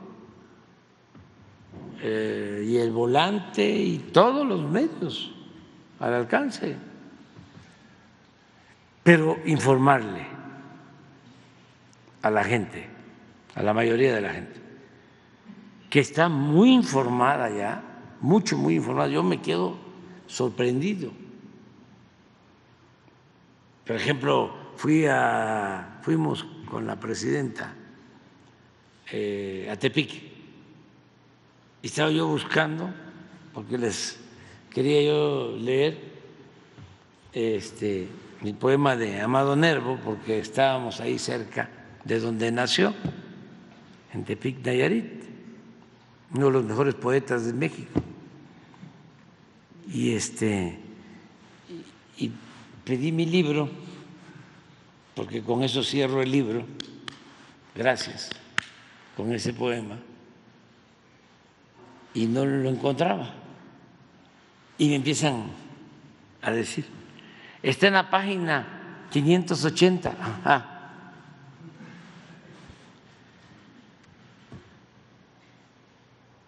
O sea, la gente, sí, por eso tenemos un pueblo extraordinario, muy consciente. Pero eso para los este, expertos o sabiondos, eso no, no,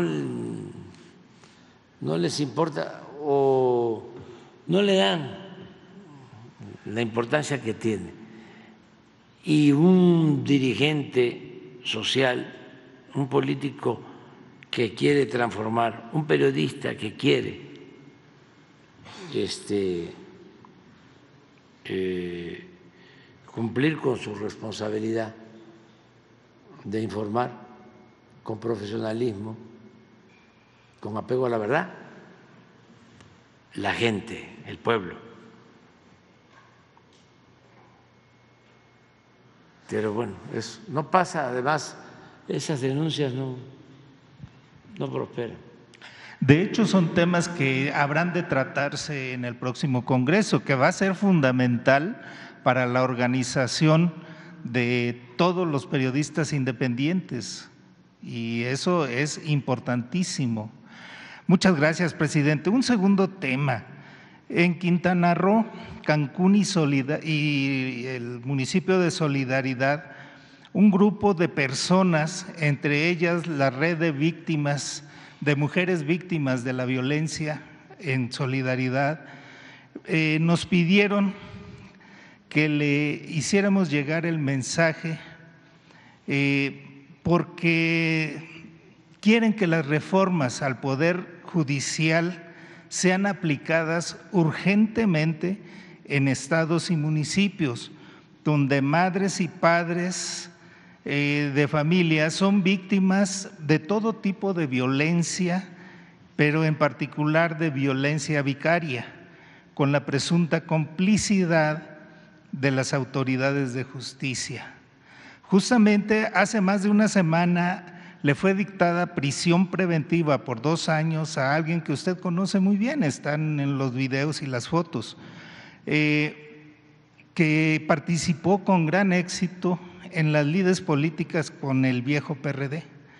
Se trata del doctorante en Derecho Emiliano Ramos Hernández, hijo del líder sindicalista Salvador eh, Bustamante, Ramos Bustamante, a quien también usted ubica bien según las fotos que, que tenemos, y quien pide a usted y a la gobernadora Mara Lezama que sea revisada la actuación de las autoridades de justicia porque los delitos de los que se le acusa no han sido suficientemente probados, por lo que solicitan que las reformas al Poder Judicial se apliquen justo en los municipios y en los estados. Eh, la información yo se la, se la, comparto vía Jesús y esa sería mi participación sí. y me gustaría la opinión de usted al respecto. Sí, conozco a Salvador, al papá. ¿Vive todavía? Sí. Tiene 88 años, creo. Sí. Sí. Sí, viene la próxima semana a México.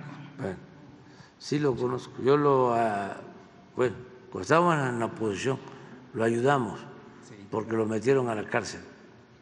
También. Este, sí, saben que había un gobernador que ahora ya este, también lo hemos ayudado y lo vamos a seguir ayudando. Pero en ese entonces ese gobernador tenía problemas con Salvador. Es. Y este y nosotros fuimos a ayudar a Salvador. Y no le gustó al gobernador esto. Entonces, de repente, estábamos en una conferencia de prensa. Esto fue como en 1996. Estábamos en una conferencia de prensa en un hotel y llega una multitud como de 200 trabajadores, eh, porque era, él era líder de la CROC y eh, se dividieron, entonces llegaron los contrarios, pero también mandados, y destruyen todo el salón, ya no hubo conferencia de prensa. Y yo iba a ir a, a verlo a la cárcel y, este, y bloquearon todas las entradas. Entonces lo conozco muy bien. Muy bien. Sí, Se acuerda mucho de usted, por cierto. Sí, sí. Otra, otra, en otra ocasión, ahora que falleció, que por cierto, José Agustín Ortiz Pinquet. Vamos a Yucatán a una conferencia, va José Agustín, Arnaldo Córdoba, el papá de Lorenzo, extraordinario, Arnaldo, y este José Agustín, ay, Lorenzo Meyer. Vamos a una conferencia también en ese entonces, y era gobernador el finado Cervera Pacheco, para que vean cómo este se luchaba, bueno, este, Pablo estuvo en la cárcel cuando el 68, pero bueno, llegamos a la, era este, una reunión para dar a conocer el movimiento y estamos este, ahí ya sentados y llegan unas señoras este, le llaman mestizas, son mayas, este, con su vestimenta maya y unos morrales, como 20, y un, un hombre con ellas. Entonces, porque ellas ni me conocían. Entonces, me señala y empiezan a sacar huevos del morral. Híjole. Y me acuerdo que al finado José Agustín y Hernando y este y Lorenzo se hicieron a un ladito. Y ahí me dejaron, porque además yo era el, el Eh, sí, y este, y el blanco. Y este, ¿eh? No, no, no, esa, eso fue en en Mérida. No, en Motul, las vueltas que da la vida, porque acabo de estar en Motul porque este año es el año de Felipe Carrillo Puerto, y estuve en Motul y salió toda la gente, fue un acto extraordinario, gente muy buena, pero en ese entonces pues había mucho control, caciquismo por todos lados, y este, entonces nos prohíben la plaza, no podíamos usar la plaza, y este y Ariana Montiel y otros están ahora ya en el gobierno, la mayoría mujeres, este, no, no, no, no, no, no, no, no. Este, tenemos que hacer el acto, es un derecho constitucional. ¿Cómo nos van a prohibir la plaza? Instalan el aparato sonido ¿sí? Y este, hacemos el acto. Claro, llegaron como 15, como 20, porque tenían miedo. Y en eso la policía. Y nos este, confiscan el aparato de sonido. Eso fue un Motul. ¿sí? Y este, después ya nos los regresaron. Pero este, nos cerraron las entradas al pueblo, o sea, para no salir y quitarnos el aparato de, de sonido. Hicimos el acto, pero nos quitaron el aparato de sonido. Y ahí calmando, sobre todo a las compañeras que para no caer en la en la provocación. Pasa el tiempo y ahora en enero fui. Este, no, la gente feliz, y hay gente muy buena, muy trabajadora, extraordinaria, nada más que en esos tiempos era muy difícil. Entonces, lo de Salvador, sí, lo vemos. Con Claro que sí, paso la, la- eh, la información videograbada a Jesús. Sí. Muchas gracias, presidente.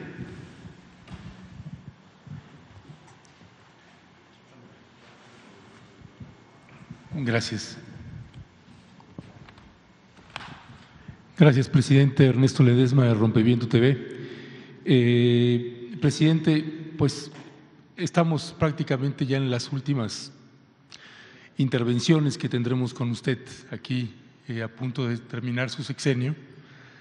Y eh, vamos a intentar en las veces que tengamos oportunidad de ir haciendo un seguimiento y recuento de los casos que hemos eh, presentado en- durante su sexenio eh, para ver en la situación y en la condición en la que están. Uno de esos es a propósito de la última intervención que tuve con usted eh, aquí en la mañanera hace unos meses, eh, donde le señalaba que el caso de Kenny Hernández, que seguía presa y que casos como el del general Salvador Cienfuegos, pues que seguía en libertad y que no había sido llamado a, a dar su testimonio como secretario de la Defensa Nacional en el caso de Ayotzinapa. Retomando el caso de Kenny Hernández, sigue presa, está a punto de cumplir cuatro años presa Kenny Hernández. Después de la intervención que yo tuve con usted aquí en la mañanera, al siguiente día, eh, los abogados de Kenny Hernández recibieron otra vez una notificación de Capufe y de la Secretaría de Comunicaciones y Transportes, firmado por el licenciado Daniel Enríquez Marín, subgerente contencioso penal y de asuntos agrarios de Capufe. Los abogados llevan años, yo le presenté este caso a usted, donde habían solicitado eh, poder tener un acuerdo reparatorio por los delitos que se le imputaban a Kenny Hernández. Yo le señalé hace dos años que se habían negado eh, a, tener un acuerdo reparatorio, a pesar que varias comunidades estaban pa- a hacer el pago, que eran 250 mil pesos aproximadamente. Kenny Hernández está presa, acusada de eh, un delito y, bueno, de dos delitos, está, tiene dos condenas de 11 años y seis meses cada condena. Son condenas continuadas, es decir, termina una y empieza la otra. O sea, son más de 20 años de condena. El delito que se le impugna a ella eh, es eh, violencia moral, le llaman, porque dicen que Kenny Hernández, junto con otra persona, le robó eh, 7.500 pesos a unas personas y un celular valuado en dos mil pesos. Ese, esa acusación fabricada que le hicieron, por esas dos acusaciones, una por siete mil y la otra por 500 pesos y el celular, es que tiene las dos condenas de 11 años y seis meses cada una. Aparte está lo de Capufe. A la solicitud del acuerdo reparatorio, un día después de estar con usted, Capufe manda la siguiente, el siguiente oficio. En relación a la solicitud realizada para la celebración de mecanismos alternativos de solución de controversias entre este organismo descentralizado y la ciudadana Kenny Hernández, me brinco el texto, se hace de su conocimiento que no es voluntad, no es voluntad de este organismo llegar a un mecanismo alternativo de solución de controversias. Eh, simple y llanamente nos parece un, un exceso en el que se ha visto sometida el caso de Kenny Hernández y más, como yo se lo había señalado en la conferencia anterior, todos los eh, casos que ya están libres, incluyendo este último de Mario Marín, y que estuvo menos tiempo preso que Kenny Hernández. Y quisiera saber si hay una posibilidad de que usted intervenga y que esta respuesta que da Capufe y la Secretaría de Comunicaciones y Transportes un día después de que yo le hago este comentario, pues nos parece una hazaña que está totalmente desproporcionada. Ese sería uno de los temas. Eh, Que lo, que lo atienda este, Rosa Isela para buscar la forma. Mire, Rosa. Isela me, me atendió su equipo hace dos años que planteamos el caso. La secretaria y su equipo hicieron todo lo que estaba en la parte de ellos. Se topan con Capufe y Secretaría de Comunicaciones y Transportes y dicen, hasta ahí nosotros ya no podemos ir más allá. Pero ella y su equipo hicieron su trabajo, pero no prosperó en nada Sí, más. pero van a ayudar. Van a ayudar. Usted ya se va y Kenia sigue presa. Sí, Nos sí, parece un exceso, presidente. este, vamos a, a procurar que se resuelva antes de que yo termine. Y también una cosa que aprovecho, ¿no? Solo en este caso, porque van a quedar muchos asuntos pendientes. Eh, una ventaja es de que quien va a sustituirme es una mujer muy sensible y una mujer con convicciones, Claudia Sheinbaum. Eh, y no va a haber retrocesos, se los garantizo. Eh, va a estar igual o mejor porque ella eh, le tiene eh, mucho respeto y amor al pueblo de México. Entonces, también para que no se piense que ya en unos días ya va a haber un gran viraje. No. Creo que hasta en eso se están equivocando los del bloque conservador y otros. Este, va a haber continuidad con cambio. Entonces, pero en este caso vamos a procurar que sea antes de que yo termine, si depende de nosotros. Muchas gracias, presidente. El siguiente tema tiene que ver eh, dándole seguimiento a la violencia que se sigue suscitando en el estado de Chiapas.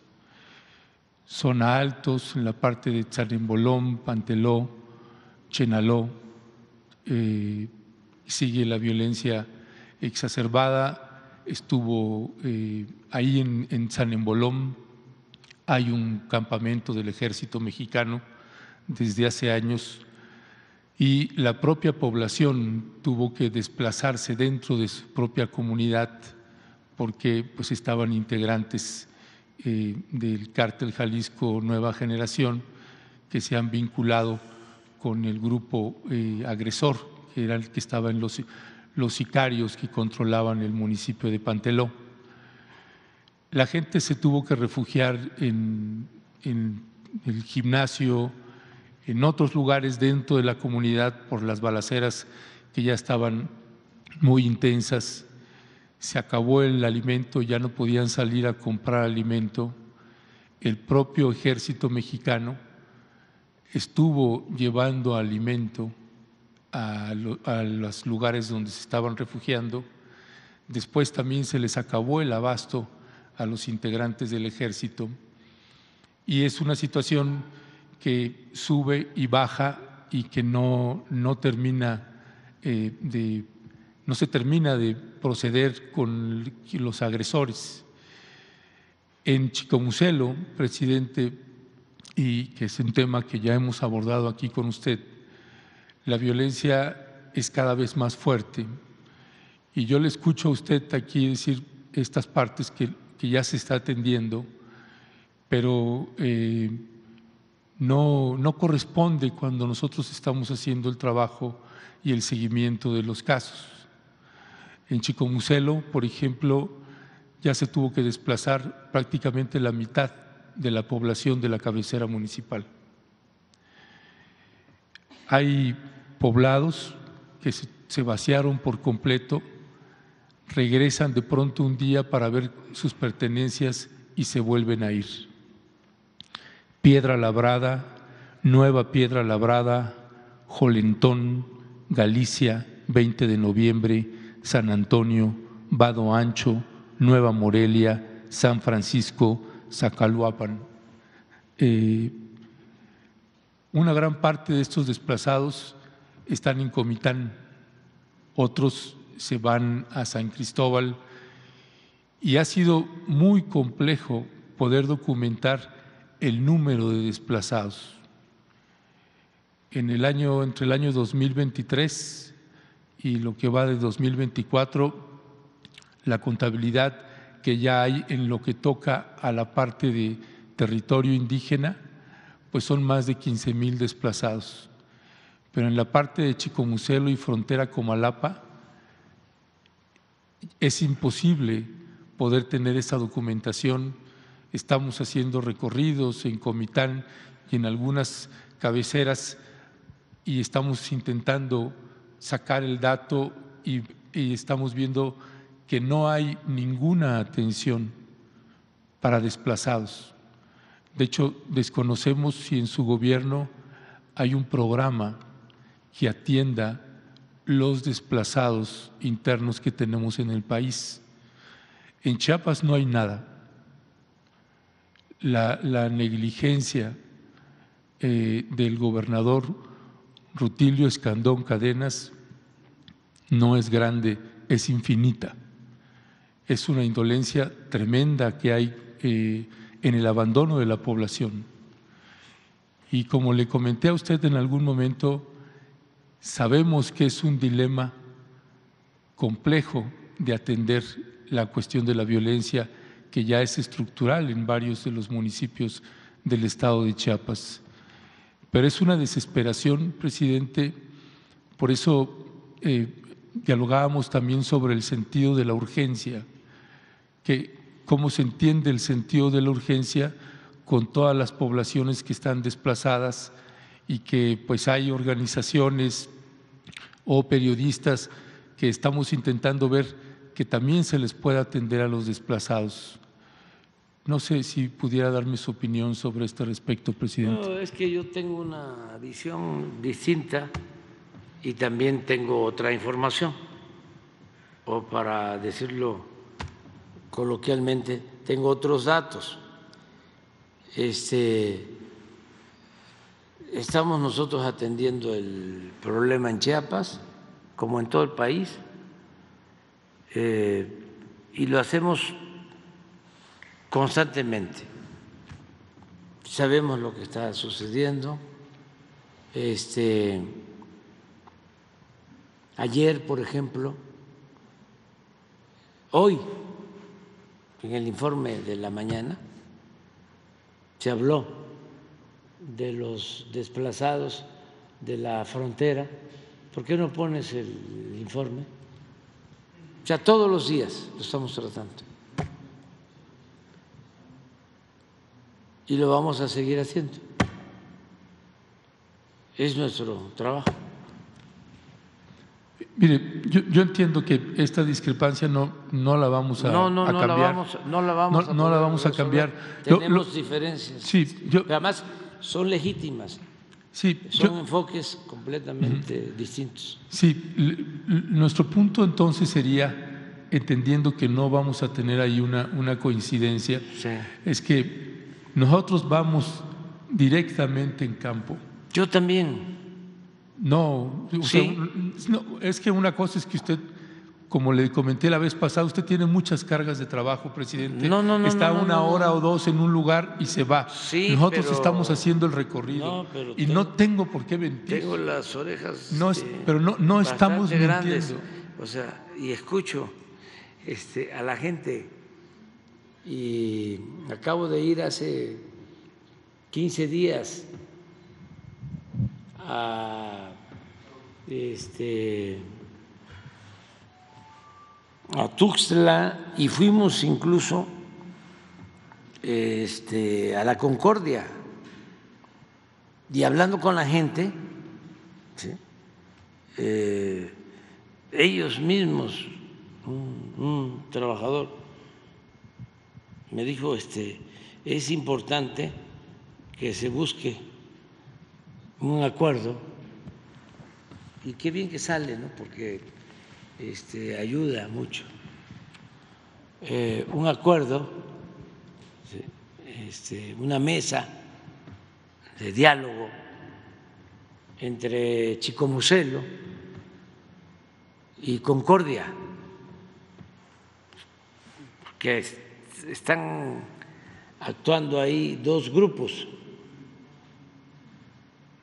eh, y eh, voluntaria o no, de manera voluntaria, se este, involucra a miembros de las comunidades y la gente quiere la paz. Eh, y estamos en eso constantemente. Y hoy informaron, nada más que a lo mejor no quedó este, por escrito porque informó, eh, ¿eh? no, Luisa. ¿Por qué no le hablas por teléfono? Y le, la ponemos aquí. Gracias, presidente. O sea, para que vean, todos los días sí. este, estamos en eso. Presidente, más allá de que eh, no vayamos a llegar a, un, a coincidir en esta parte, le preguntaría entonces, presidente, si hay algún programa en su gobierno que esté enfocado en el seguimiento y atención a poblaciones desplazadas en México. Sí. ¿Qué- ¿Cómo se llama ese, perdón, no, no conozco yo esa- ese programa? Pues son todos los programas de bienestar. Es que ya no actuamos como antes, o sea, eh, de manera aislada. El programa para eh, desplazados, el programa para este, mujeres eh, em, violentadas. ¿Tienen registro de cuántos desplazados hay en México, presidente? Sí, sí, sí. Se tiene toda, toda la información. Te- ¿No la podrían compartir? Sí, cómo Sí. no.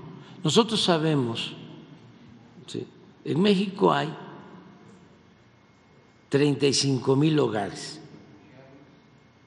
sí, y sabemos exactamente eh,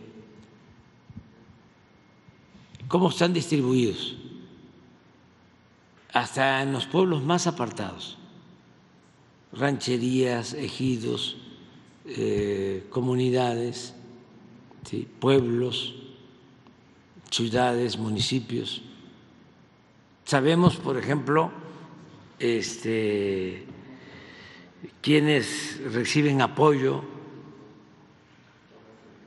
a lo mejor no vamos a coincidir contigo, ¿sí? pero en el tiempo que llevamos en el gobierno, y es algo que me llena de orgullo y me tiene muy tranquilo, en mi conciencia, es de que el Estado, en donde ha habido más disminución de pobreza, es Chiapas. Entonces, por eso eh, conozco bien lo que está sucediendo. 10% menos de pobreza con relación al 18. Pero y muchísimo más se ha avanzado con relación a los gobiernos anteriores, al 18. Sí, pero durante el gobierno de Rutilio Escandón Cadenas, como antes de Manuel Velasco, la cuestión de la violencia se disparó. Sí, sí. Y, y- y mire, presidente, eh, yo lo único que le, le comento, y se lo digo de forma ya personal, siempre durante todo su sexenio ha sido un dilema ético para mí venir y hacer los planteamientos. No de hay los ningún casos. problema. No, sí, se lo- en, la, en la democracia. Eso ¿sí? es, un, di- es un dilema ético, No, presidente. no, no, no, no, no. En la democracia. Usted ha hecho una aportación muy importante para el país, pero hay en las partes, en lo que toca a graves violaciones de derechos humanos o cuestión de violencia en el país, es un tema que es muy difícil abordar con usted, porque no, no, sí, no, no hay coincidencia y Pero ¿de no qué tenemos, sirve que hagamos? no tenemos por qué coincidir. No, O yo sea, entiendo no, eso. Porque la democracia ¿sí? es, es pluralidad. O Es sea, que no es estamos viendo pensamiento, a la gente no es campo, pensamiento presidente. único. O sea, nada más que tenemos posturas distintas. O sea, mira, este, yo tengo diferencias con las llamadas eh, organizaciones no gubernamentales, porque entre otras cosas son utilizadas no solo en México, eh, en el mundo, eh, para eh, mediatizar las transformaciones, los cambios, o de plano se ponen al servicio de los gobiernos hegemónicos, las llamadas organizaciones no gubernamentales, las llamadas organizaciones de la sociedad civil, todo eso que se considera como nuevas políticas públicas, desde mi concepción, lo fueron creando durante el periodo neoliberal para eh, partir, para fraccionar, para dividir la problemática social o la esencia de los problemas sociales, para que volteáramos a ver para otro lado. Entonces, por ejemplo, en el caso de derechos humanos, ¿sí? yo sostengo, este, hay organizaciones de derechos humanos que quieren administrar siempre las violaciones de derechos humanos. Entonces, yo no coincido con eso. Claro que estoy en contra de la violación de los derechos humanos, pero para que no haya violación a los derechos humanos, lo más importante desde mi perspectiva es que no haya Estado autoritario, porque el principal violador de los derechos humanos es el Estado autoritario. Entonces, es este, común, o era, y ahora este, no lo es tanto, de que hubiesen organizaciones sectoriales, de gremios, y nos ocuparan en eso y nos olvidáramos de luchar contra estados autoritarios y corruptos. Entonces, en el caso de, de, de Chiapas, la mayoría de las organizaciones independientes, no gubernamentales y de derechos humanos no creían en la transformación por la vía pacífica y por la vía electoral. Votaban en contra de nosotros o llamaban a no votar. Sí.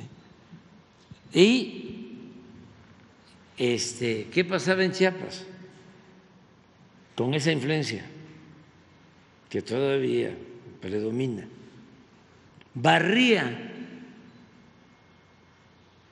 el bloque conservador. Barría en las elecciones. Resulta que al final este, el tiempo, el trabajo, la fatiga, la organización, no solo el discurso, porque la política es pensamiento, pero fundamentalmente es acción. Triunfamos con el impulso de todo el pueblo y quienes no creían en la vía nuestra, siguen todavía aferrados a lo mismo y se les hace muy fácil compararnos con los gobiernos autoritarios. Es lo que siempre he dicho una vez. Un periodista de la jornada, de un gran periódico, aquí lo comenté, Luis Hernández, me reclama en una entrevista, me dice, ¿y los vuelos rasantes del ejército en Chiapas? Me reí. porque se quedó en el almanaque, o sea, este, en la época en que A lo mejor habían vuelos antes, pero ahora resulta que el comandante supremo de las Fuerzas Armadas, el presidente actual, no permite la represión y no permite que el ejército se utilice para reprimir al pueblo. Entonces, no cambian. Entonces piensan, es lo mismo. No, no somos iguales. Entonces, aquí está este. ¿Nos puedes informar lo que dijiste hoy en la mañana acerca de la situación de los desplazados en los límites de Chiapas con Guatemala? Claro que sí, presidente. Eh, le informaba en la mañana que hemos mantenido una coordinación eh, entre gobernación y con el gobierno del estado y por supuesto con el gobierno de Guatemala. Ahorita tenemos cerca de 200 personas que han cruzado la frontera y que están siendo atendidas eh, en Guatemala. Están, pues precisamente se cruzaron y la mayoría de ellos son de Amatenango de la frontera. Entonces estamos trabajando el día de mañana Vamos, ya ingresamos el día de ayer, pero acordamos con los pobladores que el día de mañana se va a instalar ya caravanas de salud, todos eh, un tianguis del bienestar, módulos de bienestar, porque vamos a hacer una atención integral con la, por supuesto, con el acompañamiento de la Guardia Nacional y de Sedena para garantizar condiciones de tranquilidad, de paz, de bienestar y pueda haber un retorno seguro. Entonces, lo que le comentaba es que ya hay muy buena coordinación también con el gobierno del Estado y a partir de mañana vamos a instalarnos tanto en la cabecera municipal de Amatenango de la Frontera como en la plaza pública del Ejido Nuevo Amatenango. Esto pues ya lo hemos hecho en anteriores ocasiones en varias regiones de Chiapas y nos ayuda pues a que haya esta tranquilidad por la disputa que ha habido entre diferentes grupos que han generado esta, esta violencia, presidente. Bueno, muchas gracias. Muchas gracias. Un abrazo. Adiós, adiós. Bueno, pero no te, no te este, preocupes de nada. O sea, este, eh, qué bueno, sí, que ojalá y siempre haya este, estos eh, intercambios de punto de vista, estos debates, son muy buenos y, eh, este, y ojalá y los organismos de derechos humanos eh, hagan también la autocrítica, o sea, todos. Sí, mire, presidente, yo, yo le, agradezco su, su reflexión, entiendo su posición y, nada más señalarle, ¿no? Eh, creo que hubiera sido muy útil o sería muy útil que se cambiara eh, también eh, la forma en que se están, no se están relacionando con estas organizaciones de derechos humanos. Hay muchísima información en Oaxaca, en Guerrero, en Chiapas, que llevan décadas trabajando estas organizaciones.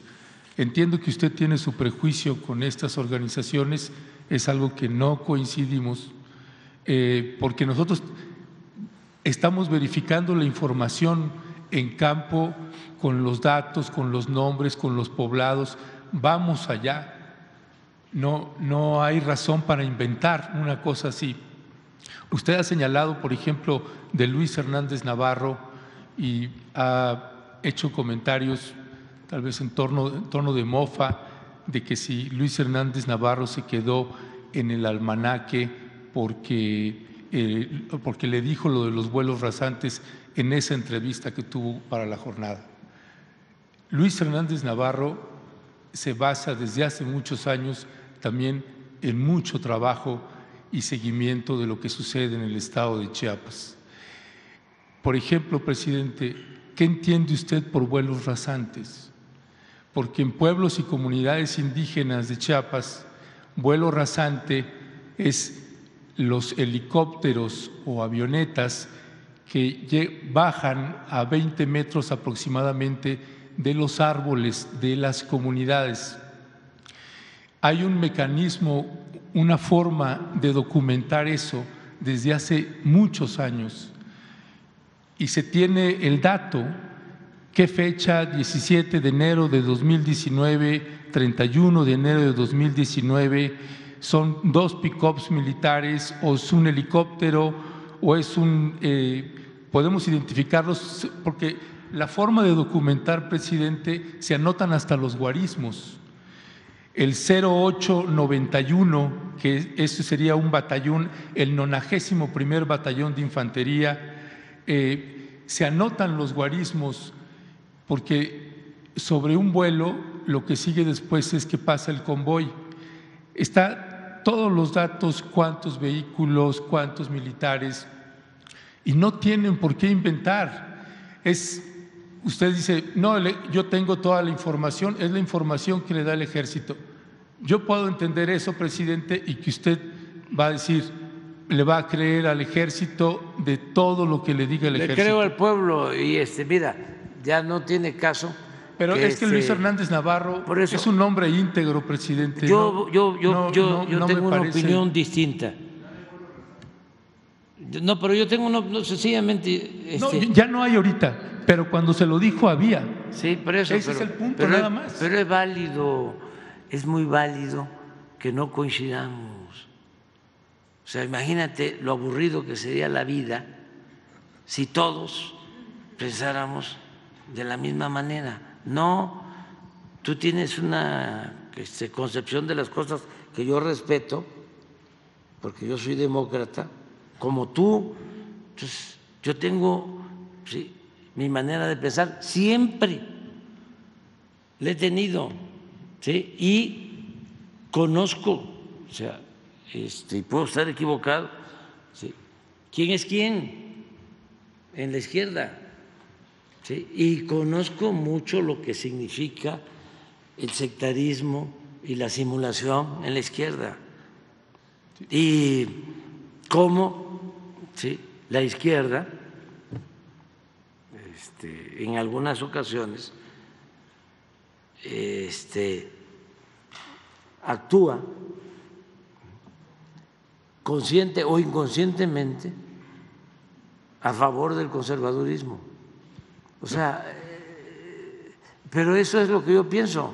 Sí, Entonces, está este, bien, presidente. y cada quien, ¿sí? No. cada quien tiene ¿sí? su visión. Sí, no, no tiene caso a lo mejor reincidir en esto. No nada tiene más, caso. No, no, nada más comentarle que eh, ojalá se le pueda dar una atención a los desplazados. Sí, lo estamos haciendo. Por eso te, te presentamos lo de lo de la secretaria de gobernación, porque casualmente el día de hoy se- informó sobre este asunto. Son los que lo vemos, a Guatemala, no los lo internos. vemos todos los días, ¿sí? y yo pensaba que, porque hay un informe por escrito, y pensé que iba a estar en el informe por escrito, pero no, luego me acordé de que ella este, hizo una intervención este, sin el informe y por eso le pedimos esto y estamos Gracias. pendientes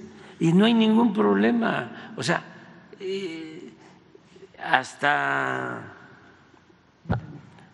con Jesús, mi hijo, y yo creo que esto te pasa a ti en la familia y nos pasa a todos. Yo llego y este, me dice Jesús, oye, lo que escucha. ¿no? Pero nosotros Este, documentamos, presidente, ¿no? Sí, que eh, este, ¿por qué eh, este, construyeron el tren Maya si están destruyendo la selva? Sí, por sus compañeros, ¿no? Que escuchan eso. Entonces les tengo que explicar. Y no necesariamente, no necesariamente lo convenzo. Se queda con las dudas y tengo que, al otro día me dijo no sé qué cosa y le dije, mira, por el medio va a la escuela y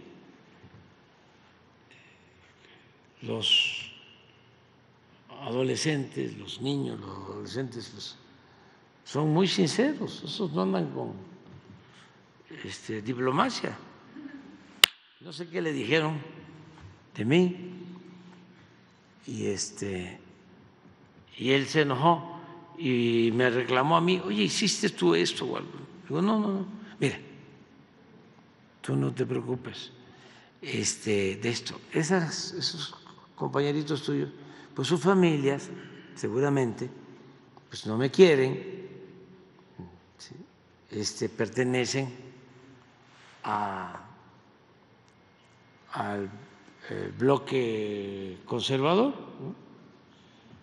Y entonces, pero no te, no te preocupes, nomás diles, no quieres a mi papá, este, tú seguramente tienes este, de dirigentes a otras personas, pues es normal, ¿no? cada quien es libre para este, tener a sus dirigentes y su manera de pensar y de actuar. Entonces, aprender a vivir en la pluralidad, garantizar el derecho a disentir, no enojarnos además. Eh, y hacer el bien sin mirar a quién. Y eh, eso sí, solo siendo buenos podemos ser felices. Es, es, es básico. Y no mentir, no robar, no traicionar con eso. Y adelante, no, no, no tenemos por qué pensar todos igual, de ninguna manera. Y yo a ti te respeto mucho y qué bueno que, que tienes tus posturas, yo las tengo también, todos, y nos debemos de respetar. Además, no nos insultamos, no este, eh, nos maltratamos, sencillamente debatimos. A mí me gustaría debatir con Luis y debatir con todos, con todos. Además, por eso lo hago. ¿Por qué cuestiono al PRO?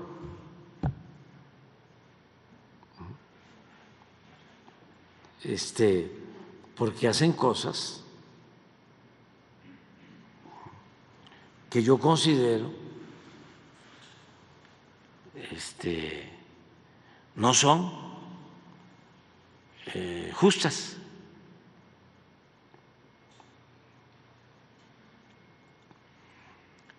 Si este, eh, las conociera el Papa, que es de la misma orden jesuita, los jalaría de las orejas, porque el Papa Francisco es consecuente. Ahora, por ejemplo, en el caso de, de Venezuela, porque no sé si han notado, ¿no? De que hay este, pues, un reagrupamiento ¿no? del movimiento de derecha hasta la OEA, no sé si ayer resolvieron algo ayer, no se reunió la OEA ayer. ¿Y qué resolvió? Nada.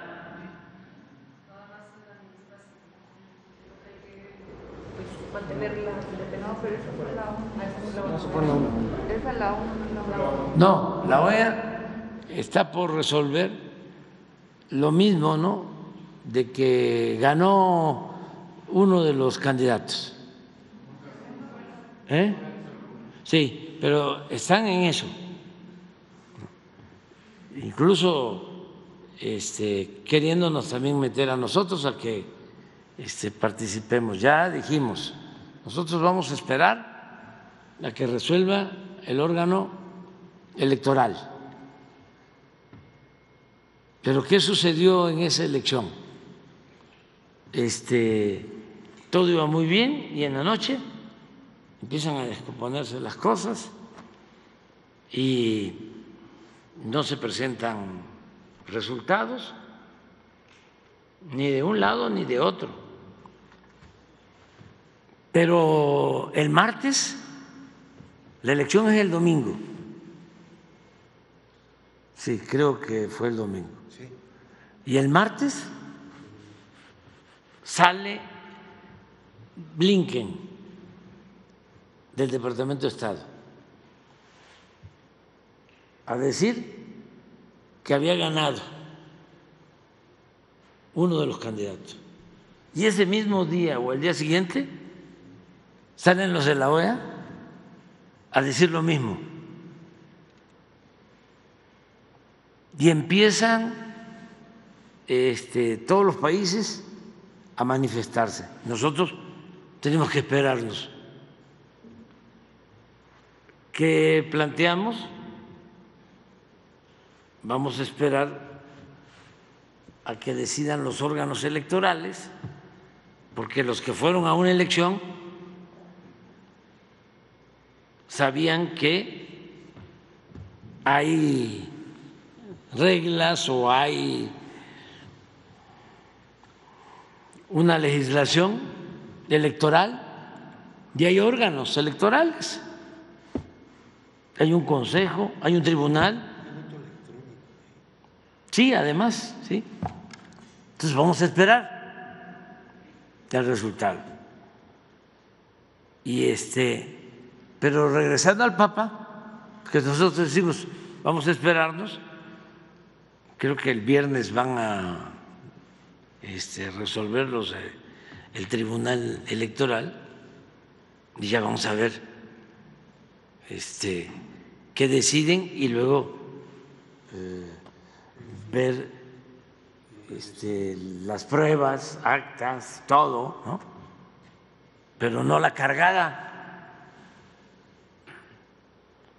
Pero me gustó mucho porque le preguntan al Papa y esperando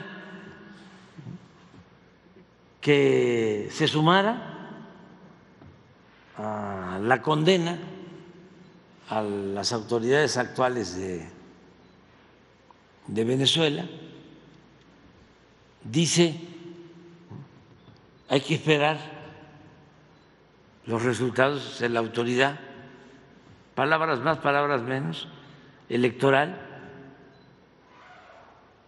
y este, lo que nosotros sostuvimos con el presidente Lula y con el presidente Petro, que no haya violencia. Y ese llamado ha ayudado, porque este, no deja de haber confrontación pero no está desbordada. La violencia, ahora van a decir mis adversarios que estoy negando que haya violencia en Venezuela. Pues no, no estoy negando, nada más que en una confrontación con tantos intereses de por medio, es para que eh, fuese peor. Afortunadamente no ha habido desbordamientos. Entonces, pero me gustó mucho la postura del Papa Francisco, muy mesurada. Entonces veo este, en mi iPhone 35, este, las reacciones se le van al Papa encima, porque lo que querían era la condena. ¿Cómo? Si nosotros este, no estamos eh, en ningún eh, organismo electoral en Venezuela. Este es un asunto que corresponde a los venezolanos. Y lo que deseamos es que haya una solución pacífica a las controversias, lo que ha sido nuestra política exterior siempre, y actuar con prudencia y no dejarnos acarrear. Pero en el caso de este, organizaciones como el PRO, que eh, participa, en el caso de Ayotzinapa, para este, elaborar una resolución de un juez que deje en libertad, argumentando de que había habido tortura a más de 60 personas y existiendo pruebas de que esos que argumentaron que habían sido torturados, porque no fueron torturados todos, de esos que argumentaron para salir, luego como testigos protegidos, declaran de que ellos sí habían participado en la desaparición de los jóvenes.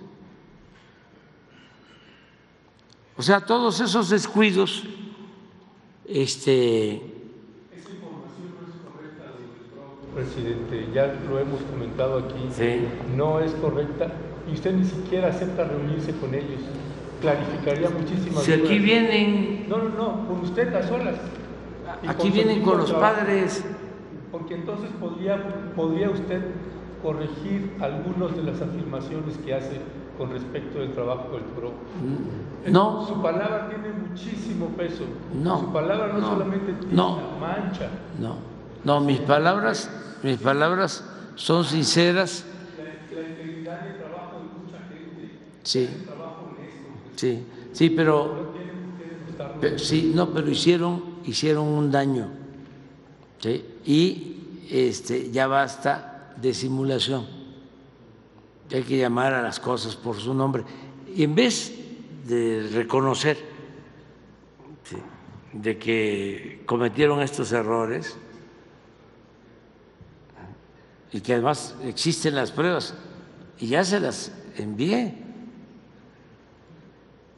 ya les envié las pruebas. Entonces, a pesar de que existen estos errores, continúan con lo mismo. Entonces, ya basta de simulación. Eh, se eh, prolongó mucho el régimen de corrupción y de injusticias y de privilegios porque hubieron muchas organizaciones y medios de comunicación que mediatizaron y que además simularon estar del lado de la gente cuando en los hechos estaban conscientes o inconscientemente a favor de la oligarquía. O sea, muchas organizaciones no gubernamentales, muchas, eh, de la llamada sociedad civil, periodistas independientes, muchísimos casos. Este, gente supuestamente de izquierda que este, jugaban ese papel de alcahuetes del régimen y que le hicieron mucho daño al país. Y ahora, en vez de hacer la autocrítica, eh, se nos enfrentan o se suman eh, las marchas estas de Rosa, ¿cuántos simuladores? ¿Cuánta gente que aparentemente estaba en contra del régimen antidemocrático, autoritario, represor? Ahí andan. Y medios. Ya no voy a seguir mencionando por su nombre a las personas, pero ya basta de eso. Ya basta y es importante que eh, se mantenga eh, el debate sobre estos asuntos. Nos afectó muchísimo. ¿Saben cuántas veces fui a Chiapas a visitar las comunidades? Muchísimas veces.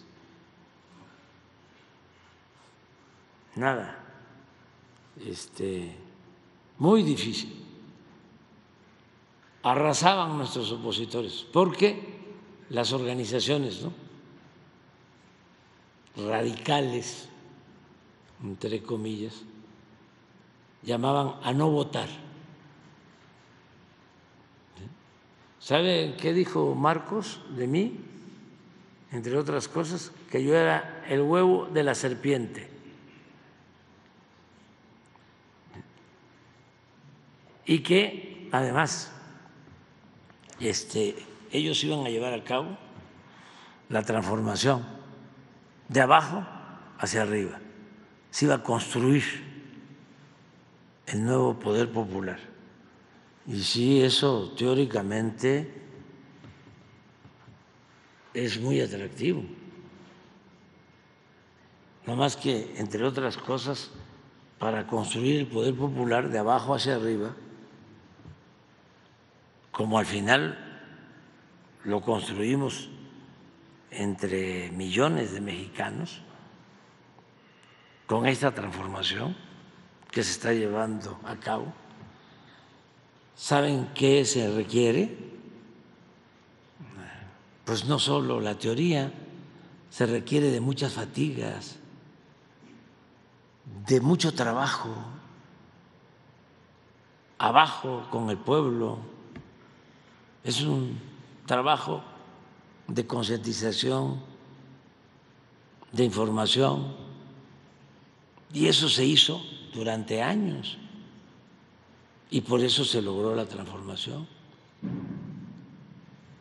Entonces, ahora están molestos porque este, se logró afortunadamente la transformación. Y en vez de actuar con honestidad, de decir, este, qué bien, que ya no hay represión, que ya no hay desaparecidos, que ya no hay vuelos rasantes, que ya no hay tortura, que no se utilice el ejército para reprimir al pueblo. En vez de eso, no, es lo mismo. Lo mismo que, que la derecha. Que nos vaya mal para que nos siga avanzando la transformación. Es muy sectario y muy egoísta ese pensamiento. Afortunadamente, lo nuestro no fue un movimiento que se sustentó en la toma de conciencia de una vanguardia de un grupo, sino en una revolución de las conciencias de millones de ciudadanos. Por eso, lamentablemente, han fracasado las revoluciones de izquierda, porque los movimientos se dan a partir del desarrollo político y de la concientización de vanguardias, no necesariamente de los pueblos. Y por eso se echan a perder los dirigentes, porque no hay este, un movimiento que acompañe y que ayude a que no se den las desviaciones en la dirección o en el gobierno. Entonces, es muy interesante el, el tema y este, ojalá y nosotros sigamos de manera pacífica, sin violencia, llevando a cabo esta transformación. Pero sí este, tenemos que enfrentar a la derecha, que dicen también extrema derecha. No, no, no, no, no. Es derecha y ni les llamo de derecha. No fue casual que yo haya buscado cómo este, nombrarlos y me gustó porque creo que es lo que más se apega conceptualmente a lo que son muchos mexicanos que respeto, conservadores, conservadores. Entonces, eh, además de los conservadores, tiene uno que enfrentar a los este, eh, progres, buena ondita. Bueno, vámonos a desayunar. Dios. El festival. Lunes, ¿seguro? Eso quedamos. No, mejor mañana. Mañana, mañana, este.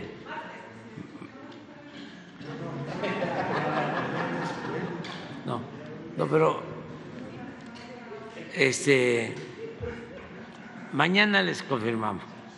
Sí, mañana le confirmamos.